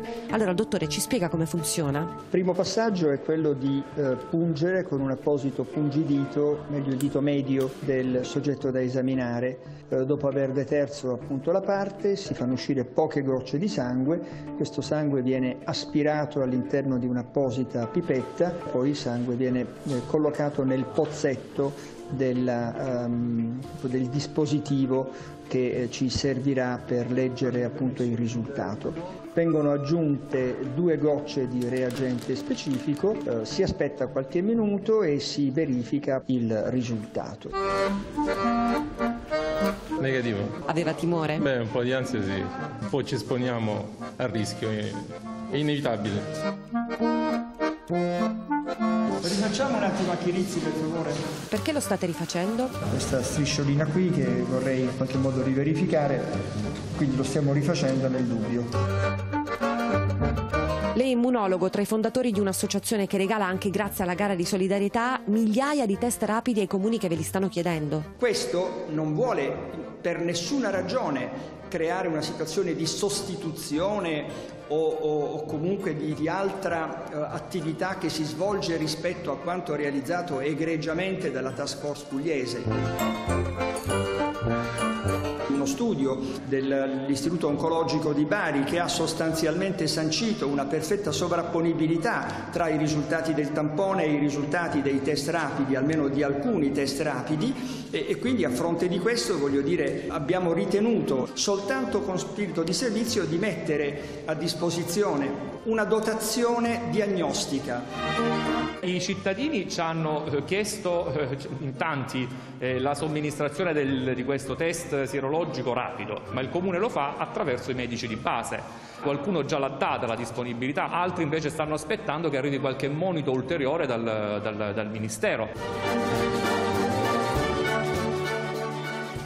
Arrivata qualche notizia dal Ministero? Sì, su questi test, secondo quanto apprende l'ANSA, il commissario Domenico Arcuri ha avuto ieri sera dal governo l'incarico di avviare le procedure di ricerca e acquisto dei test che dovranno rispondere a una serie di caratteristiche individuate dal Ministero della Salute. Mm un campione Quindi di 100... Quindi qui a un tempo X... Di tempi non se ne parla. Verranno individuati i test Al momento giusti. no, solamente 150.000 persone sarà la campionatura, suddivise per profilo lavorativo, genere e sei fasce di età. Allora, ricordiamo che questi test di cui stiamo parlando, i test sierologici, ci dicono se noi abbiamo o non abbiamo nel nostro sangue gli anticorpi poi ci sono quelli capillari e quelli venosi, io mi sono fatto ormai una cultura, però ci dicono se abbiamo gli anticorpi, mentre se facciamo il tampone sappiamo se in quel momento siamo o non siamo positivi, giusto? E abbiamo il virus.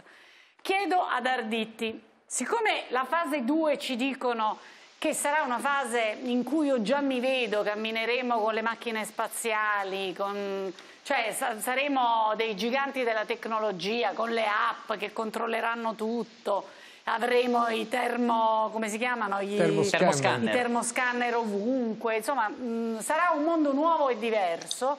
Questo mondo nuovo e diverso deve fare i conti con il fatto che se non facciamo prima tutti i test, cioè se non c'è una mappatura, non ci può essere neanche l'app che poi ci segue e ci insegue.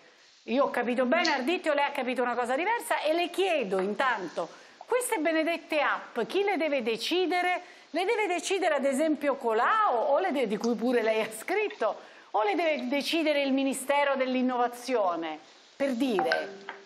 Dunque, io non so se conosco bene la lingua italiana, però hai detto poco fa, hai usato la parola prima.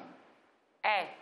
Cioè, tutta questa attività non può essere... Alessio ha letto un lancio dell'ANSA, io sono esatto. felice di apprendere che si sta per, ma siamo come un po' nella tradizione di tutta questa vicenda degli ultimi mese, mese e mezzo, non parlo del lavoro dei medici e degli infermieri che è sul campo straordinario, lasciamo, parlo del resto, siamo un po' agli annunci, che è un po' la specialità tipica di tutta questa storia. Eh. Non esiste una fase 2, a mio modesto avviso, in sicurezza senza avere prima realmente compreso la dimensione del fenomeno, del fenomeno no? quindi la mappatura, cioè i test.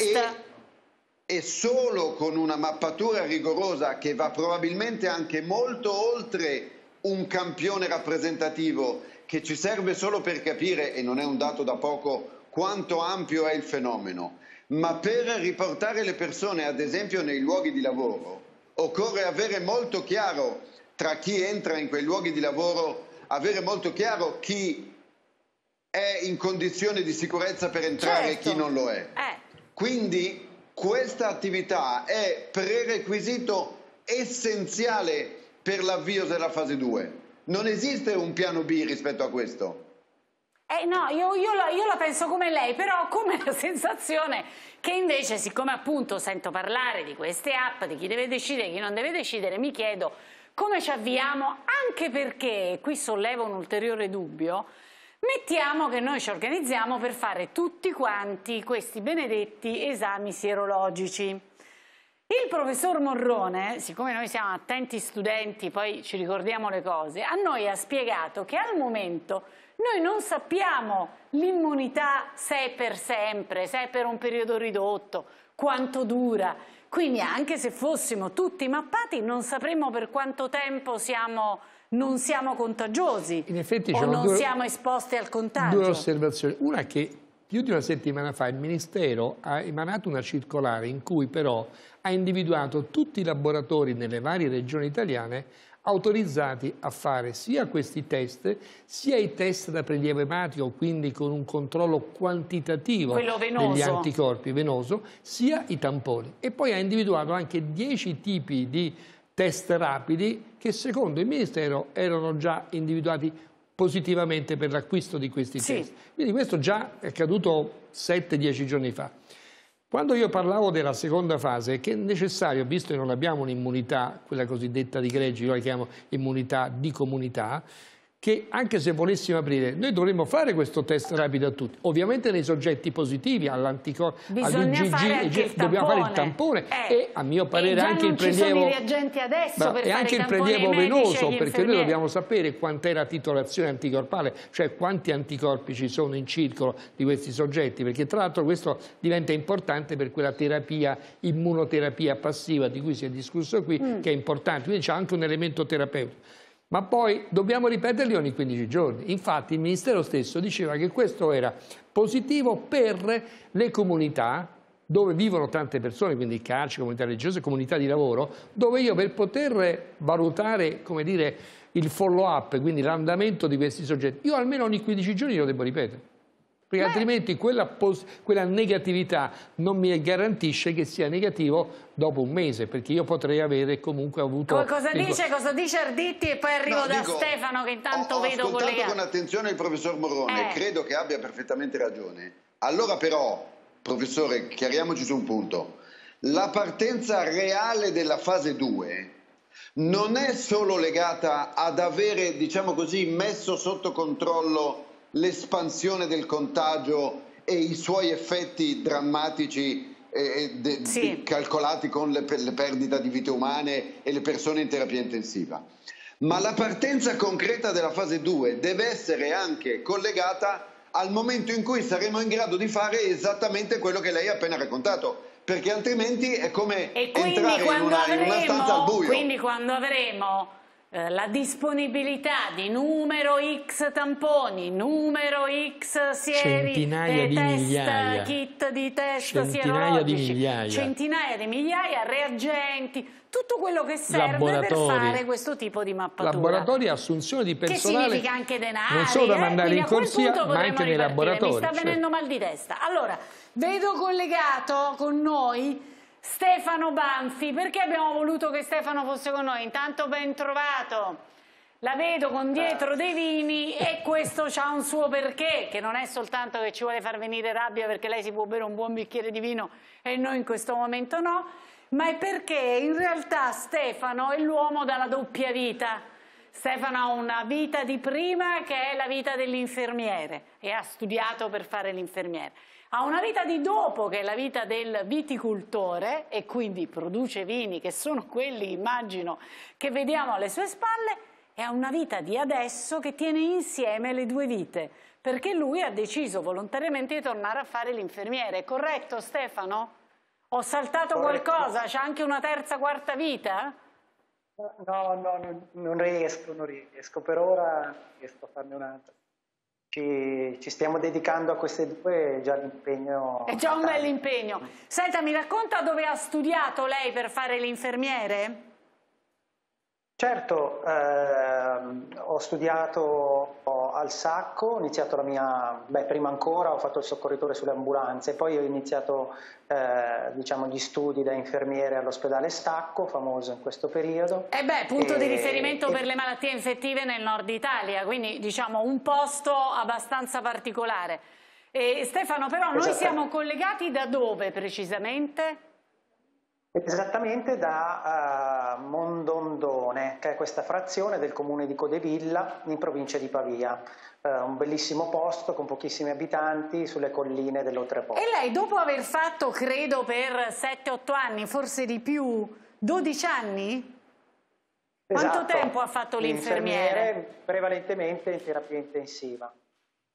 Quindi ha lasciato la divisa da infermiere, ha deciso di ritirarsi in campagna, stiamo vedendo nel frattempo il luogo nel quale lei ha deciso di andare a stare, il lavoro che ha deciso di, di fare al posto del lavoro dell'infermiere e cioè ha messo su il suo vitigno e fa il suo vino, è corretto?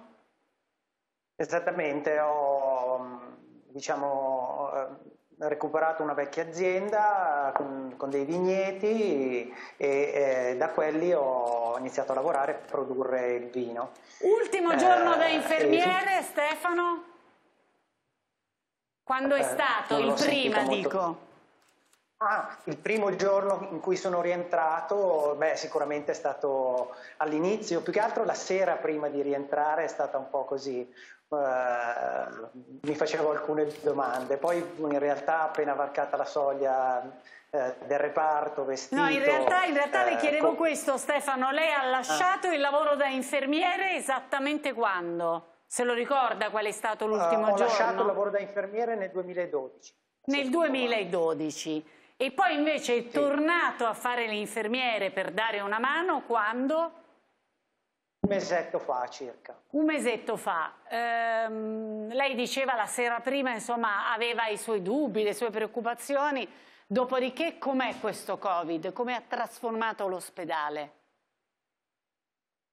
Eh, l'ha trasformato sia fisicamente che nel... Um, in tutte le sue sistema operativo, ecco, nella sua modalità e, e, ha anche trasformato la vita dei medici, degli infermieri, del personale che ci lavora. Lei sta lavorando in un ospedale, nel reparto Covid dell'ospedale di Voghera, giusto? Esattamente, attualmente nella rianimazione dell'ospedale di Voghera, sì.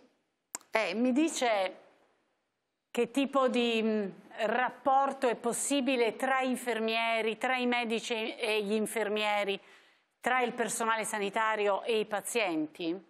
Me lo dia in una fotografia, mi dica che cosa è arrivato a lei. Sì, eh, i rapporti sono eh, complicati perché appunto eh, diciamo, gli operatori sanitari sono tutti vestiti come avete visto nelle immagini e quindi sia i rapporti tra di noi che con i pazienti sono difficili, però ci sono eh, poche parole, pochi gesti sono sufficienti insomma, eh, per comunicare anche la, la nostra vicinanza ai pazienti. Senta, ci ha pensato ma chi me l'ha fatto fare? Me ne restavo in campagna? Uh, beh, in realtà sono contento, sono contento di aver fatto entrambe le cose. Mi Senta, ma quando finisce tutta questa faccenda lo facciamo un brindisi insieme con il suo vino? Eh, quando finisce? Quando finisce tutta questa vicenda del Covid, lo facciamo un brindisi insieme col suo vino? Certamente, molto volentieri. Questo significa che il vino lo porta lei però, eh? Ah, certo, certo. va bene, va bene. Grazie Stefano e grazie soprattutto per quello che, che, sta facendo, per la sua generosità. Andiamo in pubblicità, devo salutare grazie Roberto Arditti che non ritroviamo dopo la pubblicità. Ci vediamo tra pochissimo. Grazie Arditti. Buona giornata.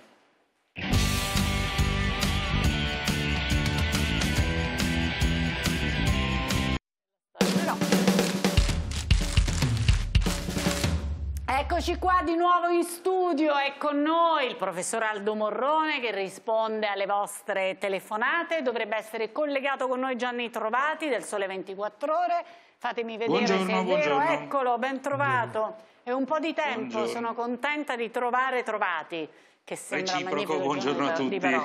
Eh, saluto il nostro fiscalista Gianluca Timpone, bentornato. Buongiorno, buon pomeriggio. Allora, eh, gli ospiti in qualche modo vi fanno già capire di che vogliamo parlare, vogliamo parlare anche di tasse, di ripartenza. I numeri che ci hanno dato stamattina Banca Italia, ieri il Fondo Monetario Internazionale non ci mettono allegria, eh, direi che decisamente ci mettono di cattivo umore. Eh, però la domanda, noi abbiamo detto, parliamo dell'estate, almeno ci viene il buon umore. Così, così, perché insomma che estate sarà? Allora, la prima domanda è per il professor Morrone. Lei non risponda come rispondono all'appuntamento delle sei. Mi risponda da professor Morrone. A luglio e ad agosto noi andremo al mare? Con le stesse caratteristiche con cui oggi abbiamo il distanziamento sociale. Io non ho capito Mascherine. bene. In spiaggia? distanza con le mascherine, i guanti. A distanza. A distanza. Se Qui vogliamo... la risposta è no, mi sembra di poter dire. Vabbè, allora facciamo così Alessio, intanto in attesa di capire cosa deciderà il governo, Eh, ripassiamo un po' qualche dato relativo al turismo, che estate sarà per gli albergatori, per tutti gli operatori del turismo. Noi abbiamo preso i dati di CNA. Nel, Quanto vale intanto esatto, il turismo? 2019 57 miliardi era il giro d'affari generato dal turismo, è stato. La previsione per il 2020 ci racconta di un magro bottino da 16 miliardi, quindi mancherebbero 41 miliardi all'appello. Soltanto nel primo trimestre dell'anno sono andati in fumo quasi 16 miliardi, mentre per il secondo si stima una contrazione di 25 miliardi. Oh, molto bene, questo ci dà un po' l'idea molto bene, in realtà molto no. male, a pagare un prezzo salatissimo sono soprattutto gli albergatori che appunto stanno assistendo ad un crollo degli affari, dovremmo avere in collegamento proprio un albergatore. Eh, vediamo se riusciamo ad aprire il collegamento con Gabriele Merico o Merico.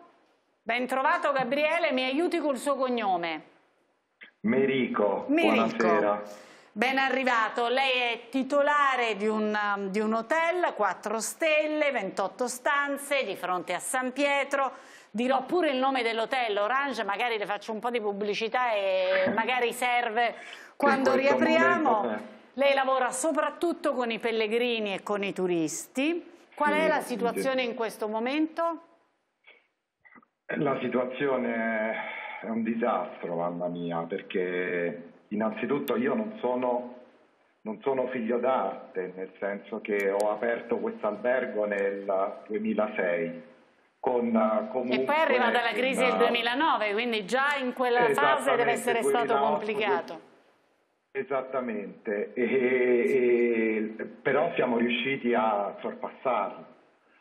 E ad oggi la situazione è che io ho zero camere da, da marzo, eh, non pago più, non pago più la, l'affitto da, dal periodo di marzo e aprile. E la verità è che noi alberghi siamo andati in, in eh, abbiamo cominciato a sentire la, la crisi prima di tutti gli altri, praticamente da quando sono stati chiusi i voli per la Cina.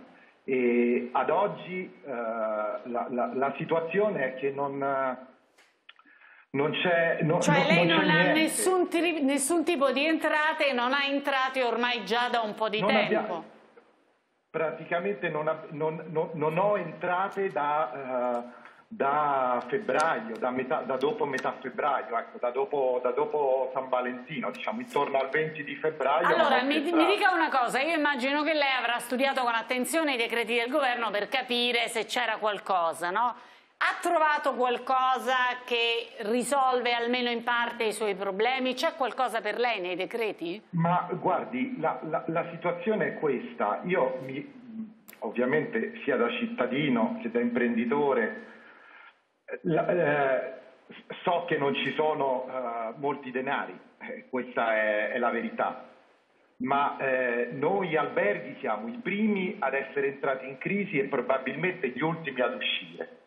Guardando i decreti del governo eh, c'è un problema sostanziale, che eh, diciamo c'è una situazione di, dire, di blocchi a livello di, uh, uh, come dire, bancario perché il governo rilascia una, un, come dire, la, la, in, in, base al merito del credito riesce a, a, appunto a prestarti dei, riuscirà probabilmente perché mm. questa è la situazione a, a prestare dei, dei soldi denari, a dare dei soldi, esattamente, a, dire, ad andare a contenere de, de, delle, delle, perdite della, della, crisi di liquidità, perché io non so nemmeno come pagare eh, le bollette, eh, le, le, semplici utenze. Non abbiamo, non abbiamo alcun tipo di incasso al principio dell'alta stagione. Quindi lei dice, mi perdoni se la interrompo, però è per capire, lei ha detto io non pago l'affitto da ormai da un mese, due mesi, in realtà il governo dice che voi l'affitto lo dovete pagare e poi eventualmente vi sarà tolto dalle tasse in futuro, c'è questo credito d'imposta, no? Sì, Però lei dice credito... se io non incasso come faccio a pagare l'affitto che immagino ma non sia esattamente un affitto da poco. ma quello, quello, quello, che quello, che uno si aspetterebbe è che io sono come il 50% eh, degli alberghi più o meno in Italia sono in locazione. Il credito d'imposta probabilmente sarebbe più opportuno darlo alla proprietà, cioè quello che non riesce a, appunto ad, in, a, ad incassare. Sì, poiché dal... non incassi l'affitto, ti scarico dalle tasse l'affitto non incassato, eh, mi è chiaro. Però, però, le chiedo questo, no? Eh, lei ha detto io non ho una tradizione familiare, io mi sono inventato in realtà questo mestiere, ci ho provato, quindi immagino che abbia messo dentro questa attività anche diciamo non soltanto Tutto. le energie economiche ma anche quelle psicologiche, no? di sogno, Tutto. di desiderio, di crescita. Tutto. E per lei Grandi sapere che le stanze vita, sono chiuse, dire. che cosa significa? Non ho capito, mi scusi. No, dico quindi male. per lei che cosa significa sapere che l'albergo è chiuso, che le stanze sono no, vuote? Non, non è, guardi, le dico, le dico una cosa, in questi, in questi in questi anni, anche nei momenti di bassissima stagione o di, o, o di maggiori crisi, anche per il turismo, mi, mi viene in mente la, la, la nuvola del vulcano in Nord Europa. L'albergo non ha mai avuto, eh, eh, diciamo, non sono mai sceso sotto le due o tre camere e quando ho pensato di fare questo albergo, ovviamente non, essendo un albergo di città nel pieno centro di Roma, non ho mai pensato di chiuderlo, ma un albergo sempre aperto.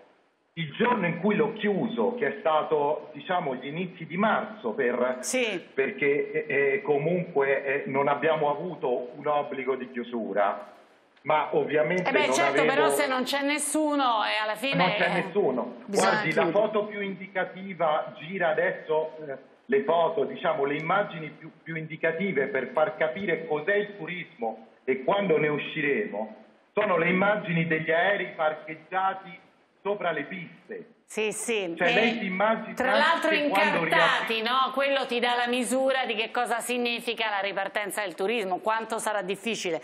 Trovati le, le chiedo aiuto, no?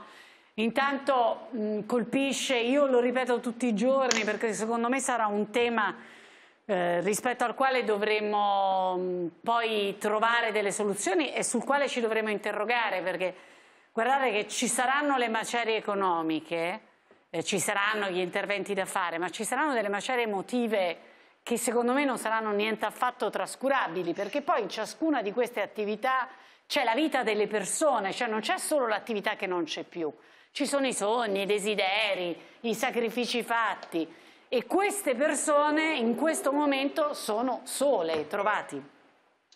Sì, e c'è anche da aggiungere che mentre si sta parlando molto di fase 2, tra virgolette, eh. noi non abbiamo la minima idea di quelli che saranno i nostri comportamenti sociali una volta diciamo, chiusa la eh, fase critica dell'emergenza, eh, perché questa emergenza è destinata a cambiare per un certo numero di, speriamo mesi, eh, ma forse di più, le, nostre abitudini semplicemente, perché eh, in particolar modo nel settore del turismo per andare in un albergo, per andare in un ristorante fuori a cena, per andare in un locale a prendere un aperitivo, bisogna anche avere voglia e esatto. eh, avere voglia di eh, affrontare, diciamo così, eh, questa esperienza con modalità nuove. Allora se tu devi tenere, come dovrai tenere per un po' di mesi, il distanziamento sociale, le mascherine, i guanti, eccetera. No, io me ne immagino una... tutti in spiaggia o a cena o a pranzo in spiaggia con le mascherine, i guanti a distanza di ecco. un metro col plexiglas. Poi ci arriviamo, però appunto cioè uno se Appunto. poi si figura queste situazioni, come dice Trovati, ti passa la voglia e forse non ci vai, no?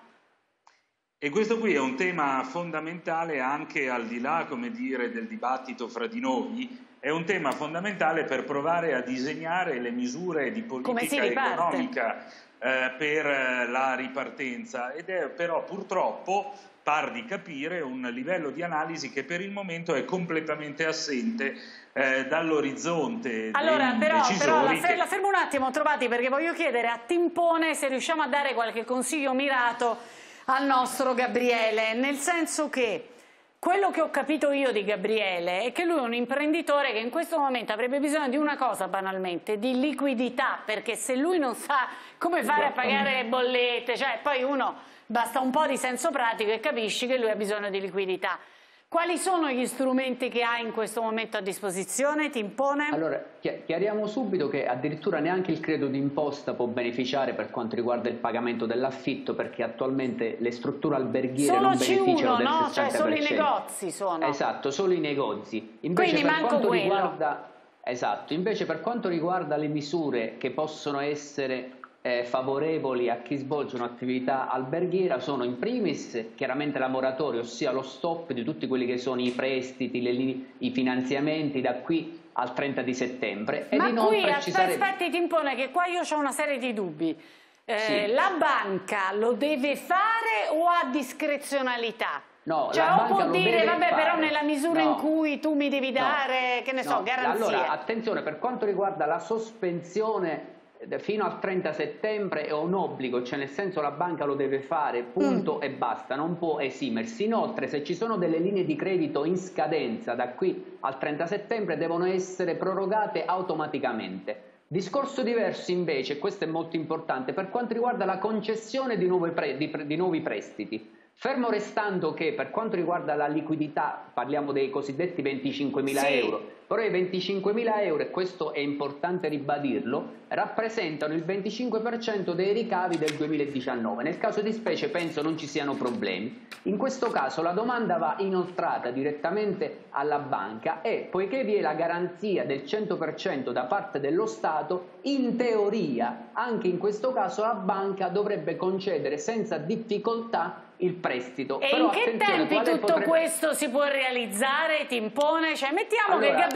non l'abbia ancora fatta e poi arrivo da Gabriele. Allora, Voglia fare domanda e lo diciamo anche ai vari altri, alle, alle persone sì, sì. che ci stanno seguendo. Voi volete fare domanda per questi 25 mila euro? Esatto. Posto che devono essere, quanto ha detto? Che devono allora, essere in percentuale? il 25% dei ricavi dichiarati nel 2019. Cioè nel 2019 si... dovete aver guadagnato 100.000 euro. Almeno 100.000 euro, esatto. Se da ne ho guadagnati 50.000 vi danno massimo 12.500 euro. Questo per quanto riguarda la liquidità garantita al 100%. Bene. Il modulo già è garantita al 100% significa che è garantita dallo Stato, cioè da esatto. tutti noi e cioè dalle nostre tasse. Ma va benissimo esatto. se serve ad un'impresa a rimanere in piedi. Però la banca teoricamente non ci può dire di no, non dovrebbe allora, dirci di esatto, no. Usiamo il condizionale ecco. perché anche E lo dovrebbe caso... fare in che tempi? In tempi si parla di, un, di, due settimane, si parla di due settimane, nel senso che una volta inoltrata la domanda la banca entro due settimane dovrebbe dare una risposta che mm. si, si, spera sia positiva. Perché? Perché se la persona non restituisce quei soldi... Ci pensa lo Stato, Stato, ci pensiamo noi. Esatto. E Gabriele, esatto. lei ha fatto qualcuna di queste mosse?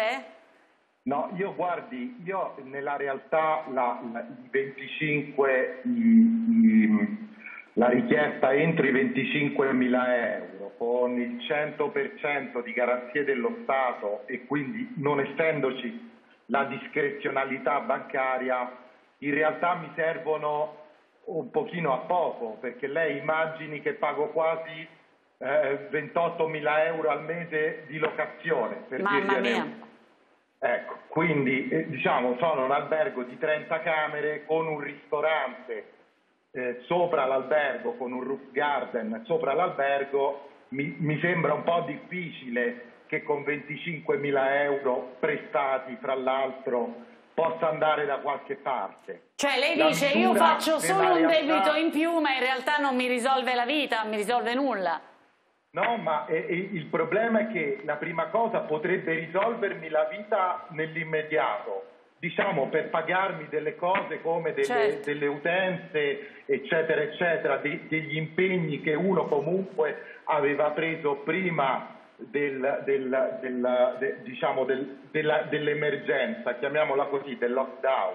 Sì. Il problema è che prima cosa non si capisce se la richiesta di questi 25 mila euro escludano poi la richiesta che sarebbe più dedicata diciamo, al, al, comparto del, degli Del alberghi, turismo. delle piccole e medie imprese, degli alberghi medio-piccoli come il mio, che sarebbe la richiesta del 25% sul fatturato del 2019 o, uh, o, il doppio delle Allora, se ho capito la domanda la giro a timpone, vediamo se abbiamo notizie. Se io accedo a questi 25 mila euro, a questo prestito, poi questo inficia la possibilità che io possa accedere ad altre forme di eh, sussidio dello Stato, sostentamento, allora, momento, sostegno, al... chiamiamolo come vi pare?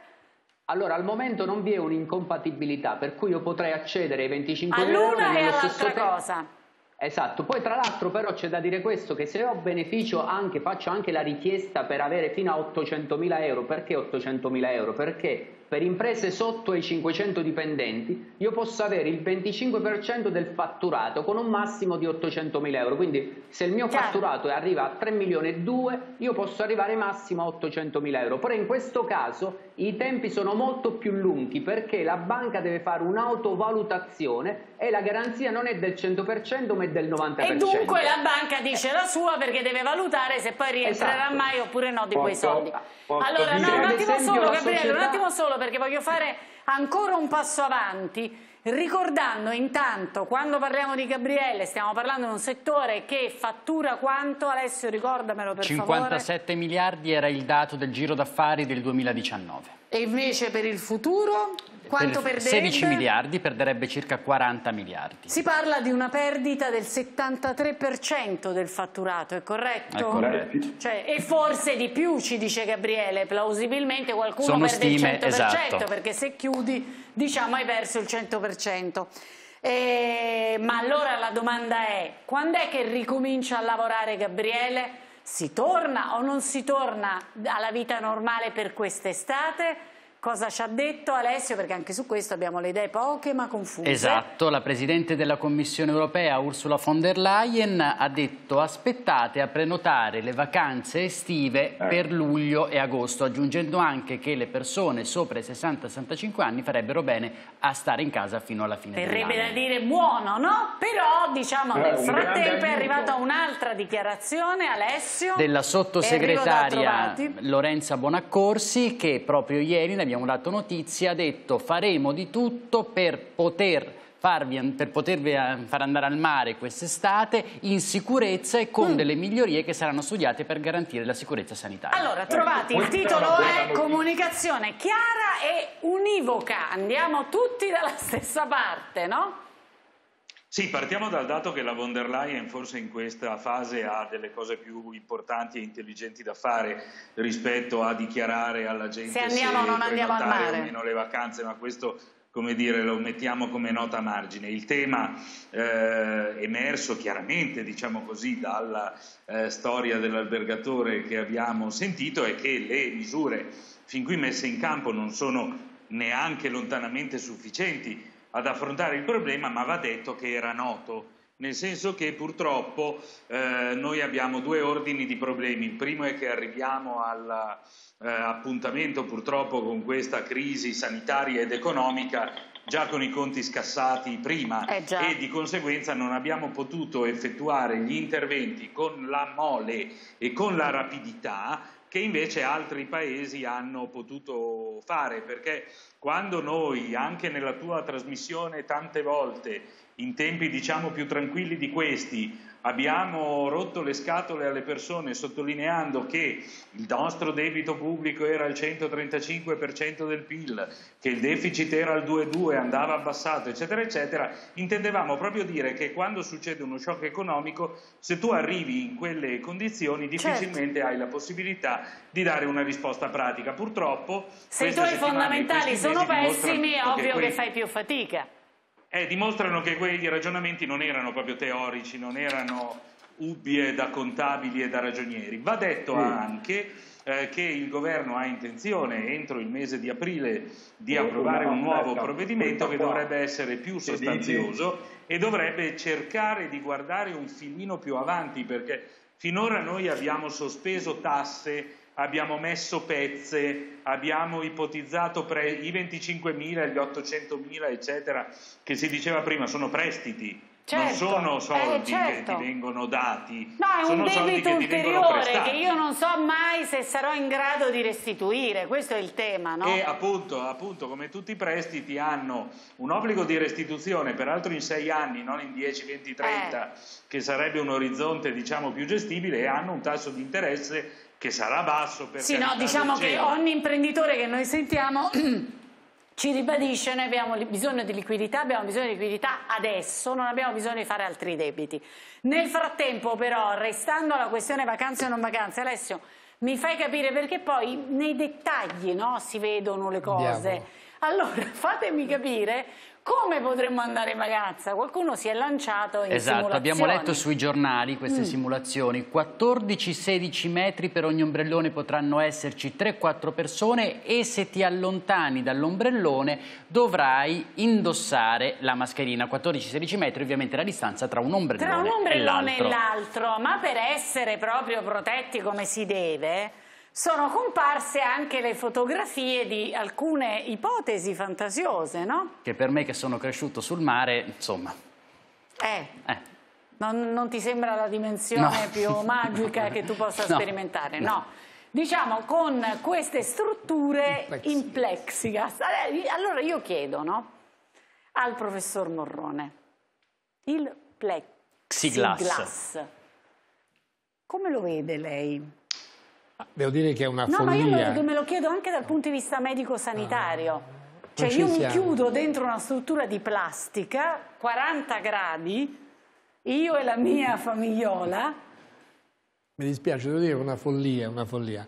Eh. Devo dire che a tutti i soldi che occorrono per rilanciare l'economia saranno necessari ulteriori fondi per la sanità, perché tutto quello che dicevamo prima del test sierologici, dei tamponi, ah, certo, cioè, dei, dei, nuovi assunti nei certo, laboratori certo. e ha un costo ben preciso. Quindi c'è necessità di un investimento, c'è necessità di una visione in cui, per carità, programmare va benissimo, in cui però, come diceva prima il giornalista, dobbiamo vedere tutti insieme, altrimenti, voglio dire, si può incoraggiare il nostro albergatore, come è successo in Toscana, che gli alberghi vengono trasformati nelle case per i soggetti positivi asintomatici per evitare, per evitare, che finiscano ovviamente per evitare che chiudano perché in quel modo almeno l'albergo ci sarebbe la camera con bagno. Le chiedo oh, una cosa però che ci hanno chiesto in tanti e poi prendiamo una telefonata perché so che ce n'è una in attesa da un po' di tempo. Ehm, il mare Può essere veicolo di contagio, visto che stiamo parlando di vacanze? Non abbiamo nessuna evidenza scientifica su questo, ci mancherebbe altro. Quindi la risposta altro. ve la traduco io, non lo sappiamo. No, però fino adesso non c'è stato nessun caso di chi è andato al eh. mare eh. piuttosto che chi è andato in alta montagna. Purtroppo devo dire che in questo caso il virus ha colpito tutti, che sarebbe interessante no, riuscire capito, a capire. Però siccome ancora non è arrivata l'estate e tutto ciò che noi sappiamo lo sappiamo dalla Cina, ma è partito a dicembre quindi adesso poi però c'è gente che vive il al Covid mare. dice no, sì, però che non è che fai però il bagno nella stagione calda, certo. Eh, Noi speriamo molto in, in questa stagione calda. bagno. Noi speriamo molto in questa stagione calda eh. che riduca ovviamente da una parte la sensibilità alle malattie Però diciamo nell'acqua il virus dovrebbe essere No, non c'è nessun problema. Vive, non vive, entriamo in acqua e c'è sale. Il contagio è solo interumano. interumano. Tutto il resto ce Quindi lo possiamo se vi volete fare il bagno a mare fate, scordare. però ma da soli, questo rimane Beh, il tema. Una certa, eh, una certa distanza. Ad una certa distanza. Eh, chi c'è al telefono? Dovrebbe esserci Marco? Sì, buon pomeriggio Tiziana. Ben trovato Marco. Chiama da Pescara? Sì, sì grazie anche al professor Morrone, un saluto ad Alessio. Allora, sono un po' emozionato perché diciamo, sono stato colpito da questo virus. E, ehm, ed è circa un, diciamo, un mese che ho avuto i primi sintomi. Ora ho fatto il tampone e sono ancora positivo. E, ehm, quindi questo cosa significa? Questo volevo chiedere. E se mi devo preoccupare, cioè c'è qualcosa che non va?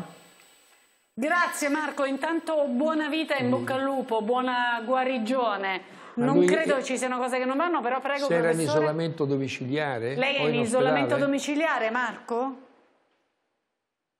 Aiuto, lo abbiamo, lo abbiamo perso. Allora, quello che ho capito io è che lui è stato ricoverato e io, io, penso che sia ancora ricoverato, però adesso vediamo se riusciamo a risentirlo al telefono. E, però dice è passato un mese dai primi sintomi e io sono ancora positivo. Eh, come possiamo tranquillizzare Marco? No, cioè, non possiamo tranquillizzare perché questa questo? è una situazione molto frequente. Non è detto che le persone dire, diventino negativi a distanza di 20... Eh... È a casa, il telespettatore è a casa. casa. Molto è bene. Casa. Non è che diventino negative a distanza di quattro settimane per forza. Alcune ci mettono addirittura otto settimane perché c'è una differenza nell'evoluzione della malattia nei vari soggetti. La cosa importante è che se sta a casa vuol dire che sta clinicamente meglio. Certo. Quando si sta clinicamente meglio c'è anche una guarigione clinica. Non possiamo dire che è guarito completamente perché il tampone Finché è ancora il tampone positivo. non Noi abbiamo bisogno di due, Due tamponi, tamponi a negativi. distanza di 24 ore che siano entrambi negativi. Allora vuol dire che non solo è clinicamente guarito, come probabilmente già lo è, ma è anche microbiologicamente guarito, Cioè non non è più più nessuno. contagioso. È completamente guarito dopo il secondo tampone. Allora, eh, io spero che, che Marco insomma, stesse lì ad ascoltarci e spero che si senta rassicurato da questo perché capisco che dopo magari Certo, 4-5 settimane... Perché abbiamo insistito molto sulle quattro settimane. Alcuni Sì, soggetti sì. ci E allora impiegano più tempo. magari io ho una problematica in più. Non è così, è Non è abbastanza così. frequente che Esatto, vada in esatto. questo modo. Eh, dicevamo dello stare in riva al mare, di farsi il bagno, il professor Morrone ha detto che lo possiamo fare, che l'acqua non peggiorerà la nostra situazione, ma proprio per capire come il mondo dei balneari si sta organizzando rispetto alle vacanze che arriveranno, forse sì, forse no, dove siamo andati Alessio? Siamo andati in Liguria con Pietro Barabino a fare un giro tra i balneari. E tra l'altro il governatore Toti eh, sta spingendo, Sì. una delle regioni, delle regioni stanno spingendo di più per la riapertura di ristoranti, di locali, eccetera. Vediamo? Molta gente ci chiede quando aprite, quando aprite. E la nostra risposta naturalmente è non lo sappiamo. Ci stiamo preparando perché ci è stato autorizzato a prepararci e speriamo che poi ci autorizzino ad aprire. Prime giornate di sole e spiagge liguri deserte. Così, temono i gestori degli stabilimenti balneari, rischiano di restare ancora per molto. Qui saremo a pulire, a mettere in ordine tutte le cabine, a mettere a posto una piscina, sperando nel tempo, sperando nella gente, sperando di stare tutti bene. Abbiamo avuto l'autorizzazione dalla regione per cominciare a fare qualche lavoro di manutenzione. Non sappiamo neanche se saranno lavori utili in quanto non abbiamo ancora nessuna certezza di, di aprire, come, quando e perché.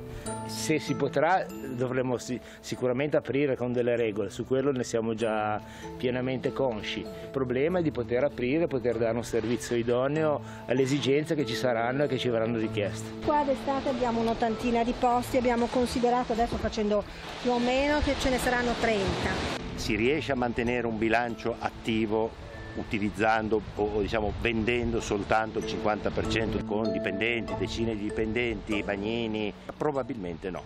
Quindi quello che chiediamo è di avere le regole di come dovremo comportarci con lo stabilimento aperto.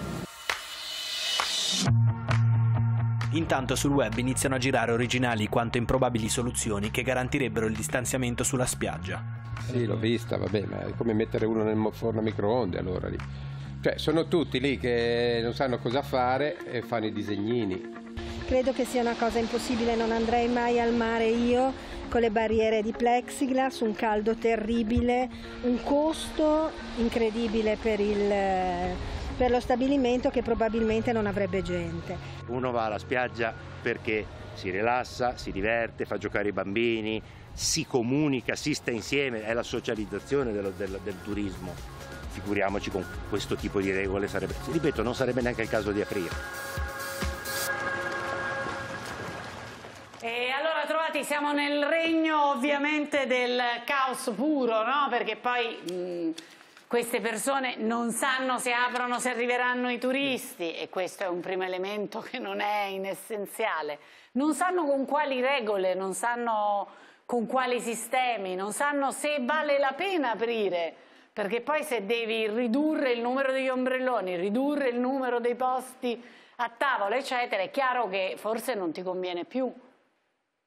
No, ma infatti una riconversione, una modifica proprio della struttura economica eh, del turismo sarà inevitabile. Naturalmente queste parole dette, come dire, sedute ragionando, eh, hanno un peso specifico relativo, poi vissute sul campo invece significa che ci sono delle attività economiche che non potranno ripartire e eh, di fronte a, alla profondità di una eh, modifica di questo tipo non c'è intervento del governo, eh, di qualsiasi governo sull'orbe terracqueo che possa, come dire, risolvere il problema. Ci sono però misure che possono quantomeno eh, alleggerirlo e sono come dire, una emissione di liquidità molto più importante di quella che fin qui eh, è stata fatta e soprattutto misure di indennizzo eh, dei settori più colpiti, almeno parzialmente, perché eh, per esempio sulle tasse fin qui si sono sospesi eh, degli obblighi fiscali dicendo paghi dopo. Eh, ma in quel sì, dopo però lì io dopo eh, se non ho lavorato come, dire, come pago? Questa soldi, è come quindi... la storia dell'IVA, no? Esatto, cioè non la paghi subito, la paghi a maggio, metti. Ma eh, se io per tre mesi non ho lavorato non, non si capisce bene come faccio a pagarla, poi maggio appunto arriva. Il passaggio successivo è un indennizzo almeno parziale che sia parametrato alla tua perdita di fatturato. Il governo ha detto di volerlo fare, serve mm. un, una barcata di soldi, eh, serve quindi un aumento del deficit e eh, verosimilmente settimana prossima si attiverà la macchina, ma non, non illudiamoci sulla possibilità che la soluzione possa essere totale ma dal totale al nulla ci sono svariate certo. eh, intermedie che vanno certo. E poi soprattutto dal, dal, nulla al tanto tantissimo a quello che sarebbe necessario, non solo ci sono le sfumature, ma ci sono anche le sfumature legate ai tempi, perché io credo che uno dei punti sia la velocità. Eh, ti impone, per esempio, ho sentito parlare di bonus vacanze, che potrebbe vacanze per le famiglie italiane che vanno in vacanza in Italia, cioè bonus per le famiglie italiane che scelgono l'Italia, ho capito bene? Primo, sì, come fai pratica... a scegliere un altro luogo che non ci puoi andare? Diciamo, sono chiusi i voli. Però, diciamo, ti arriva questo bonus. Giusto, in ho pratica, capito bene? Sì, sì, in pratica se io spendo per la mia vacanza 3.000 euro, un 20-30% di quello che speso io lo potrei utilizzare in futuro per pagare e ridurre quelle che sono le mie imposte. Poi ricollegandomi... Ah, sempre come cosa che poi non pago eh, le tasse? Certo, assolutamente, non parliamo di contributo come, come, potrebbe accadere ad esempio con i buoni affitto che tra l'altro sono stati introdotti già nella regione Lazio però per le persone fisiche e non per gli albergatori. Eh. Cioè sì. nella regione Lazio esiste un buono affitto per dare una mano per tre mesi a chi non riesce a pagare l'affitto, però riguarda solo le persone fisiche, non gli albergatori. Volevo che però mi pare sacrosanto per... francamente, eh certo, quindi sì, bene. con un reddito non superiore a 28.000 euro, eh quindi questa è un'indicazione diciamo, già quelli che sono più in difficoltà evidentemente. Volevo aggiungere una cosa per quanto riguarda il settore balneare, loro nel, poiché è un'attività stagionale, loro già partono con un handicap, nel senso che loro pagano per tutto l'anno l'affitto per le cosiddette concessioni sì, certo. e a certo. secondo della metratura possono pagare anche 5, 6, 7.000 euro all'anno a prescindere da quello che poi andranno a guadagnare. Solo che Quindi prima teoria... magari sapevano di poter contare sul numero X di ombrelloni. Esatto. Se oggi gli diciamo che riaprono ma con meno ombrelloni, magari ci alzeranno il prezzo dell'ombrellone. Esatto. Ammesso poi... che la famiglia riesca ad andare lì ad andare, ad andare in, vacanza. in, vacanza. Poi, siccome il personale dipendente lo dovranno assumere, gioco forza non possono beneficiare di nessun ammortizzatore perché è un personale che dovranno assumere. Quindi, per queste, per queste persone che dovranno assumere, è presumibile che i contributi vengano totalmente azzerati, anche perché altrimenti non, ci, non avrebbero la forza per poter pagare eh, certo, contributi certo, per, per aprire quest'estate. Ehm, io voglio salutare a questo punto Gabriele che era rimasto con noi. Che Grazie. succede Alessio? Arrivo, Gabriele. Sì, una notizia, poi dopo Elena ci darà i dettagli. Intanto è stata battuta dalle agenzie. La ha Lombardia, a che vedere con Milano Lombardia? Sì, Lombardia chiede riprese attività produttive dal 4 maggio con delle cautele. Con Adesso ovviamente questa è una domanda maggio. che merita un approfondimento. Ci arriviamo, voglio salutare Gabriele, ho un tassativo quindi devo salutarlo velocemente. Gabriele, mi guardi, ho le dita incrociate per lei e per tutti quelli guardi, che come lei... Guardi, le posso dire, l'unica cosa positiva in questa situazione qua è la solidarietà con i miei colleghi, perché veramente con Federalberghi, Federalberghi Roma stiamo facendo squadra per capirci anche qualcosa in questa confusione. Capisco. Gabriele, in bocca al lupo, sono rimasta con le dita incrociate, in bocca al lupo davvero. Eh. Poi noi che viviamo qui a Roma, quando sarà possibile veniamo a vedere di cosa stiamo parlando. Pubblicità. Assolutamente sì, grazie, arrivederci.